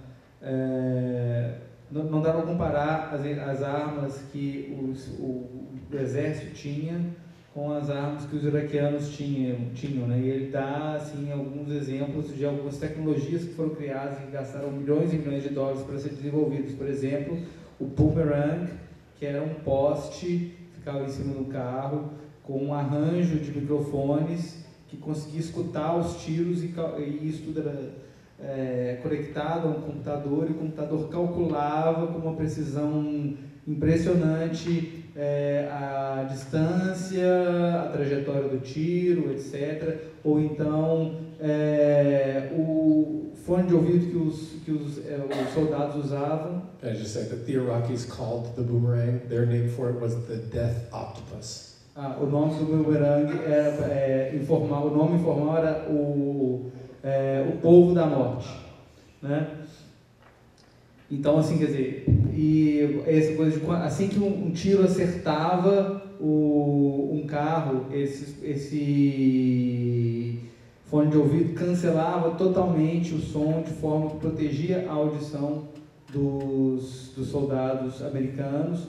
Enquanto isso, as tecnologias que, estavam disponíveis para os iraquianos eram é, algodão para colocar nos ouvidos para proteger do som, ou então a, a experiência de uma avó que para proteger os filhos ou os netos, né, abraçava as crianças para acalmá-las, mas ao mesmo tempo é, criando aí uma um, um território acústico que acalmava, mas também protegia sonoramente essas crianças. Né? Então, existe uma disparidade que é estrutural é, na, nas armas disponíveis. Né? Então, assim, é, essa, essa é uma questão, mas ele precisa pensar mais sobre é, isso das, das armas do, dos iraquianos. A gente vai fazer, infelizmente, uma última rodada. Tem três perguntas. Tem uma aqui que já estava há um tempão. Eu vou... Vocês podem se sortear, ter, eu não ter esse trabalho. E eu vou pedir para vocês, eu vou pedir para vocês também, novamente, assim, vamos ser sucintos, tá? Pode ser, pode Uh, very quickly, is it is it okay to ask you to talk about something you didn't talk about?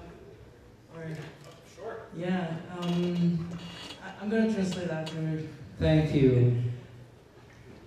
Um, and it's partly maybe an answer to our colleague who here uh, asked.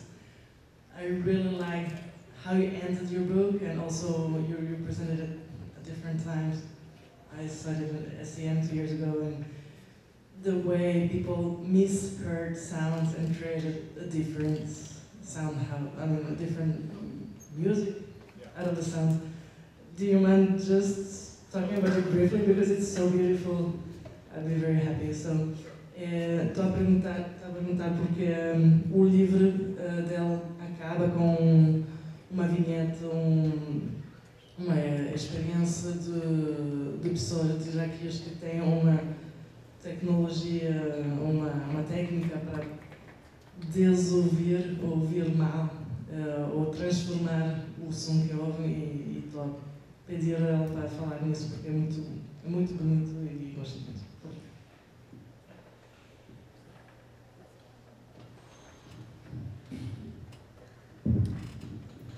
Uh, thank you for your speech and um, I'm thinking when one is in an extreme situation as a war zone, uh, what can be damaged to the point of became death. And uh, we were uh, talking also about a kind of ethical deafness. Uh, you're incapable of listening to other people, incapable of listening to different points of view. And uh, I'm, not, I'm not trying to compare the situations of uh, traumatic uh, deafness and the ethical deafness, but there's a, a kind of relation between uh, those inca- incapaci- incapacities, okay? And I want to, I want you to uh, talk uh, a little bit more about it. Thank you. É, tem que traduzir, né? Esse trabalho do Pedro. É, eu falei para ele dessa situação em, em zonas de guerra que a gente pode, no limite, ficar surdo e dessa, desse, dessa aproximação com uma espécie de surdez é, social, né? De, de uma surdez ética, né? A gente não consegue ouvir pessoas, né, escutar pessoas que são muito diferentes, que pensam diferentes. E claro, não quero comparar ah, o trauma né, da, da- das pessoas que perdem a audição em situações extremas, mas queria que ele se aprofundasse um pouco nessa, nesse paralelo entre né, essa eh, surdez traumática e uma surdez ética. Só uma brincadeira esse aí do Fábio, de que a tradução é trabalho meu. Não, gente, vamos fazer esse trabalho ser um trabalho de todo mundo, vai ser bom para todo mundo se todo mundo traduzir. Um, well, um, firstly, thank you for your, your talk. It was awesome. And uh, I'll talk to you and then I'll translate. But uh, I know an artist that uh, did, did something like this, um, trying to uh, work with power structures. Uh, he was a nominee for the Turner Prize this year. I searched for his name because I couldn't remember. It's Lawrence Abu Hamdans. Yeah, and he, well, you know his work, so I'll just explain to him later. And uh, my question is just, I don't know if it's a question, but it's like, um, as the colleague said about the parallel of this um, listenings and, and traumas, but thinking about uh, this like ideological war that we are facing um, in Brazil and in, I think in USA also, like um, to think about how the um, the speech of people in power are now like weapons because I don't know how it's the situation in USA, but here the power of the speech of our actual president has killed people, you know.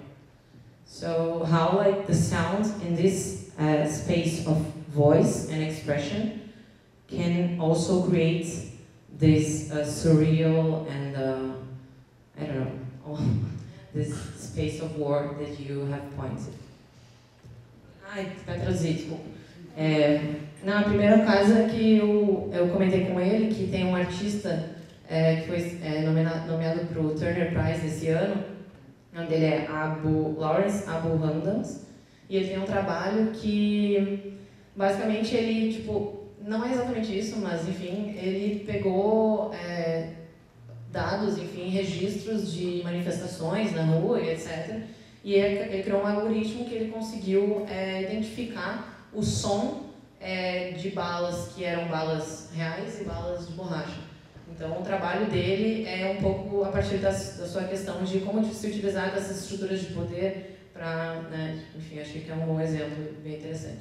E aí a pergunta que eu fiz para ele era um pouco de desse paralelo que o colega ali já já pensou, mas pensando na situação contemporânea que a gente está vivendo hoje no Brasil, nos Estados Unidos, de como que o discurso, né, de pessoas no poder uh, também é uma arma e a gente viu e está vendo no Brasil principalmente como que a palavra mata, né? Enfim, como que essa situação de guerra, para além de uma guerra no Iraque, etc., também está sendo, como que o som pode então ser, ser utilizado nesses lugares.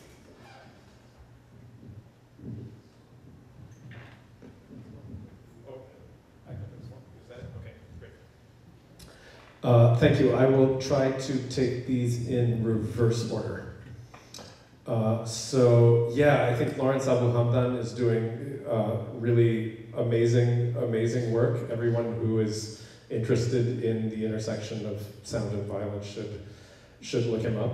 I I also though you know I made I made this point in the paper uh, about the the I don't know if it's a limitation or if it's um, just a danger uh, of using. I think that's this is kind of a core part of my argument, right? Is that it's it's uh, dangerous to use sound uh, to kind of uh, try to illuminate the intersection of sound and violence. So I have this colleague who I mentioned, Suzanne Cusick, who uh, did all this work on, on music being used in detention programs. And I was just recently at a, uh, like last week, at a conference on uh, music and trauma in Greece. And I heard, uh, you know, th- there are, there, in Greece, they also used music uh, to torture detainees. Uh, in Russia, they did. I would be not at all surprised if in Brazil's uh, history, you know, especially during the military dicta- dictatorship, that that kind of thing was going on.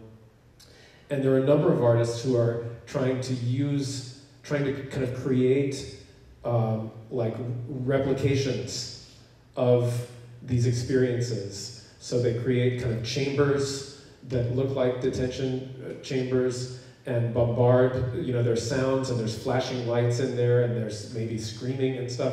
And it, to me, all of them have, they, they, they, they share the same problem, right? Which is that they are presenting uh, sounds to, to bodies that are not, uh, not constrained in the way that uh, the bodies were. They're presenting sounds to people who are free to leave when they get freaked out. And so, so uh, I, I, I always worry about this the the misimpression that oh I know what that's like oh now I know what that's like. Oh that was really intense. Mm, yeah that you know but it was also kind of exciting you know it was all like, like a roller coaster you know that that sort of Disneyfication of of the process. I think that's a real uh, challenge uh, and it's a challenge that that is kind of specific to sound right? So uh, I work with uh, an Iraqi painter named Hayv Kahraman who has um, painted uh, a number of very stylized paintings that you know kind of deal with sonic violence. Uh, and she's she created these paintings where um, she put anechoic foam behind the canvas and then used a knife to kind of slice out. So these the the canvas itself is a sound absorbing um, work. So the canvas itself is is uh, like symbolically and a little bit literally kind of soaking up uh, some of some of the sounds that, uh, you know, the, the kind of residue of the war. And I'm really moved by that work. Uh, you know, I'm moved by Lawrence Hamdan too, so uh, I don't know, I just, I'm, I'm, I, yeah, I, I, approach, I approach the artistic use of sound to illuminate situations of violence with great trepidation. Um, with great? Fear. Yeah, okay. Worry. Yeah, yeah, yeah.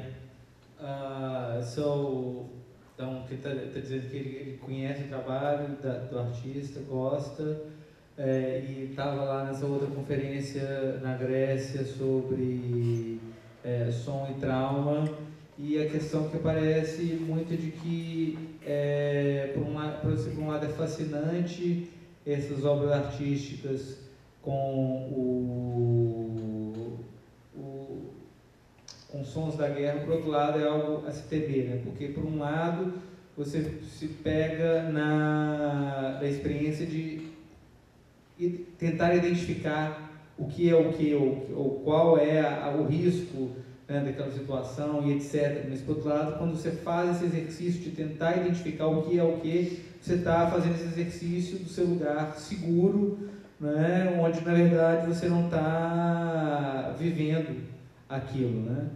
Então ele é, gosta, gosta de tomar muito cuidado com esse, com esse tipo de, de, de, de trabalho. Ele falou de uma outra pintora iraquiana que pinta e ela depois corta a tela né, de forma que até a, a pintura se transforma também em um, um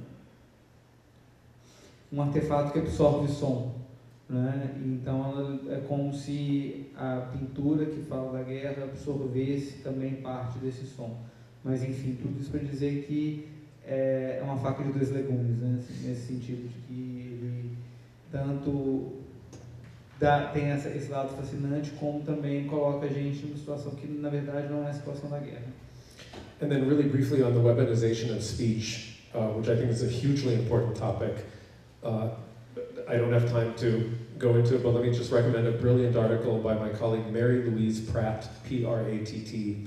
Um, she wrote it several years ago. It's called Harm's Way, colon, Language and the Arts of War. And it deals precisely with the weaponization of speech, and it was really influential for me. Harm's Way, Language and the Arts of War. I think that's what it's called.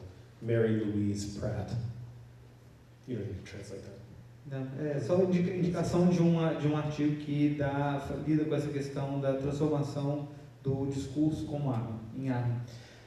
As for the relationship between physiological deafness and ethical deafness, uh, uh, I, I, I feel like you and I could talk about this for a very long time. One, I'll, I'll just mention one, one thing that's on, the, on my mind at the moment, and that is, you know, there's been, within sound studies, and anthropology, there's been an enormous amount of work in the last, I feel like it, it began happening about 10 years ago, on deaf culture. Uh, and it, it has some sort of interesting intersection with disability studies. Um, uh, some of the work is coming from deaf scholars, and a lot of the energy behind that work uh, has to do with kind of depathologizing deafness so I, uh, I want to be very careful in talking about the, that relationship, not to fall into a, a kind of a trap that says of, of some sort of, it, it would be kind of auditory determinism, right? That would, that would if, if we were to make a smooth equation between, between that, because of course, um, deaf people are, are uh,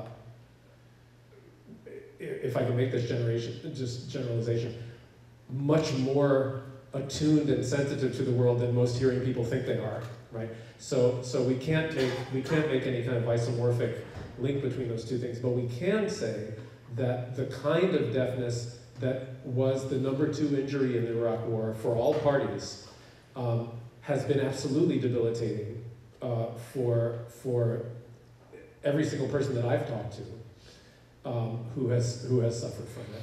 There, there's, there's, I, I've, I have yet to meet someone who has said that they were empowered by the, their hearing loss in this wartime context. Although we know that there are people like Thomas Edison, you know, who was deaf, said uh, his deafness was like an evolutionary step that, that in, you know, against, against all of the chaos of modernity, you know, that I can, I can, I can have my own thoughts walking through the streets, uh, and you are just, you know, cowed by by the sounds there. So, so I think I think there's a really a really kind of interesting thing to work out there. Um, uh, yeah, I'll leave it there. And then, yeah. É, essa questão da surdez ética versus a surdez fisiológica é um assunto que eu poderia ficar aqui falando horas e horas e horas e horas a fio, mas ele trouxe aqui a questão dos estudos de disabilities, né, dos estudos, pessoas que é, estudam deficientes, né? E um campo muito proeminente disso é exatamente as pessoas que estudam a surdez, né? E existe um esforço nesse campo de depatologizar a desabilidade, depatologizar a surdez, né, no sentido de afirmar para nós que escutamos que as, as, pessoas surdas não são tão insensíveis assim sensorialmente quanto a gente imagina, né? Ah, é, é, ser surdo não significa que você não escuta, né? Basicamente, é esse o argumento.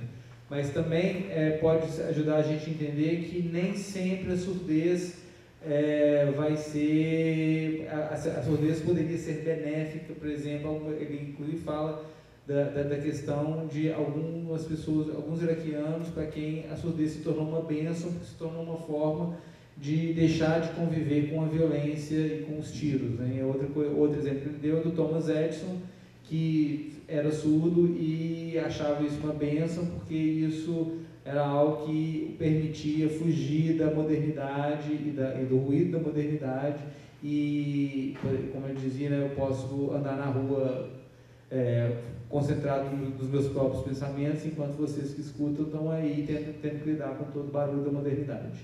Né? Okay, and for the last question, thank you so much. Uh, you know, this this uh, this has been a dark number of years for me. I've been working on on you know since uh, 2006, I guess, uh, on uh, on the war, and I continue to work on it. And I've there really were so few life affirming stories among the testimonies that I took. Uh, vir- virtually, there, like, really only one. Uh, and I end, so, you know, I ended my book with it because uh, I was so struck by this story. And I'll tell you the story now, and um, we won't make Pedro translate it. We'll say that um, it's in, it's published in the book, and we'll Google translate it and send it out to people who want it uh, in, in Portuguese. So that because you're all tired, I'm tired. We're hungry. We're listening with hungry ears. So uh, I met a guy named Tarek. He's the same guy who uh, whose dishes kept breaking because of the helicopters. And Tarek was this is this uh, delightful, goofy, funny, uh, tall, lanky Iraqi dentist, young young guy. Still lives in Iraq. And during uh, a, a particularly bad period of the war, he lived in uh, this neighborhood in Baghdad called Al Binoq. And that neighborhood was unfortunate enough to have um, a uh, Mahdi army base on one side, a Sunni militia base on the other side, and an American forward operating base kind of triangle, like created this triangle. And so there were, there were, there was a stretch in the summer, the hot summer of, I think it was 2006, when um, Tariq, who lived with his mom, um, they, no one on the street could leave their houses at all. The electricity uh, grid had failed, so they had no air conditioning um, or power.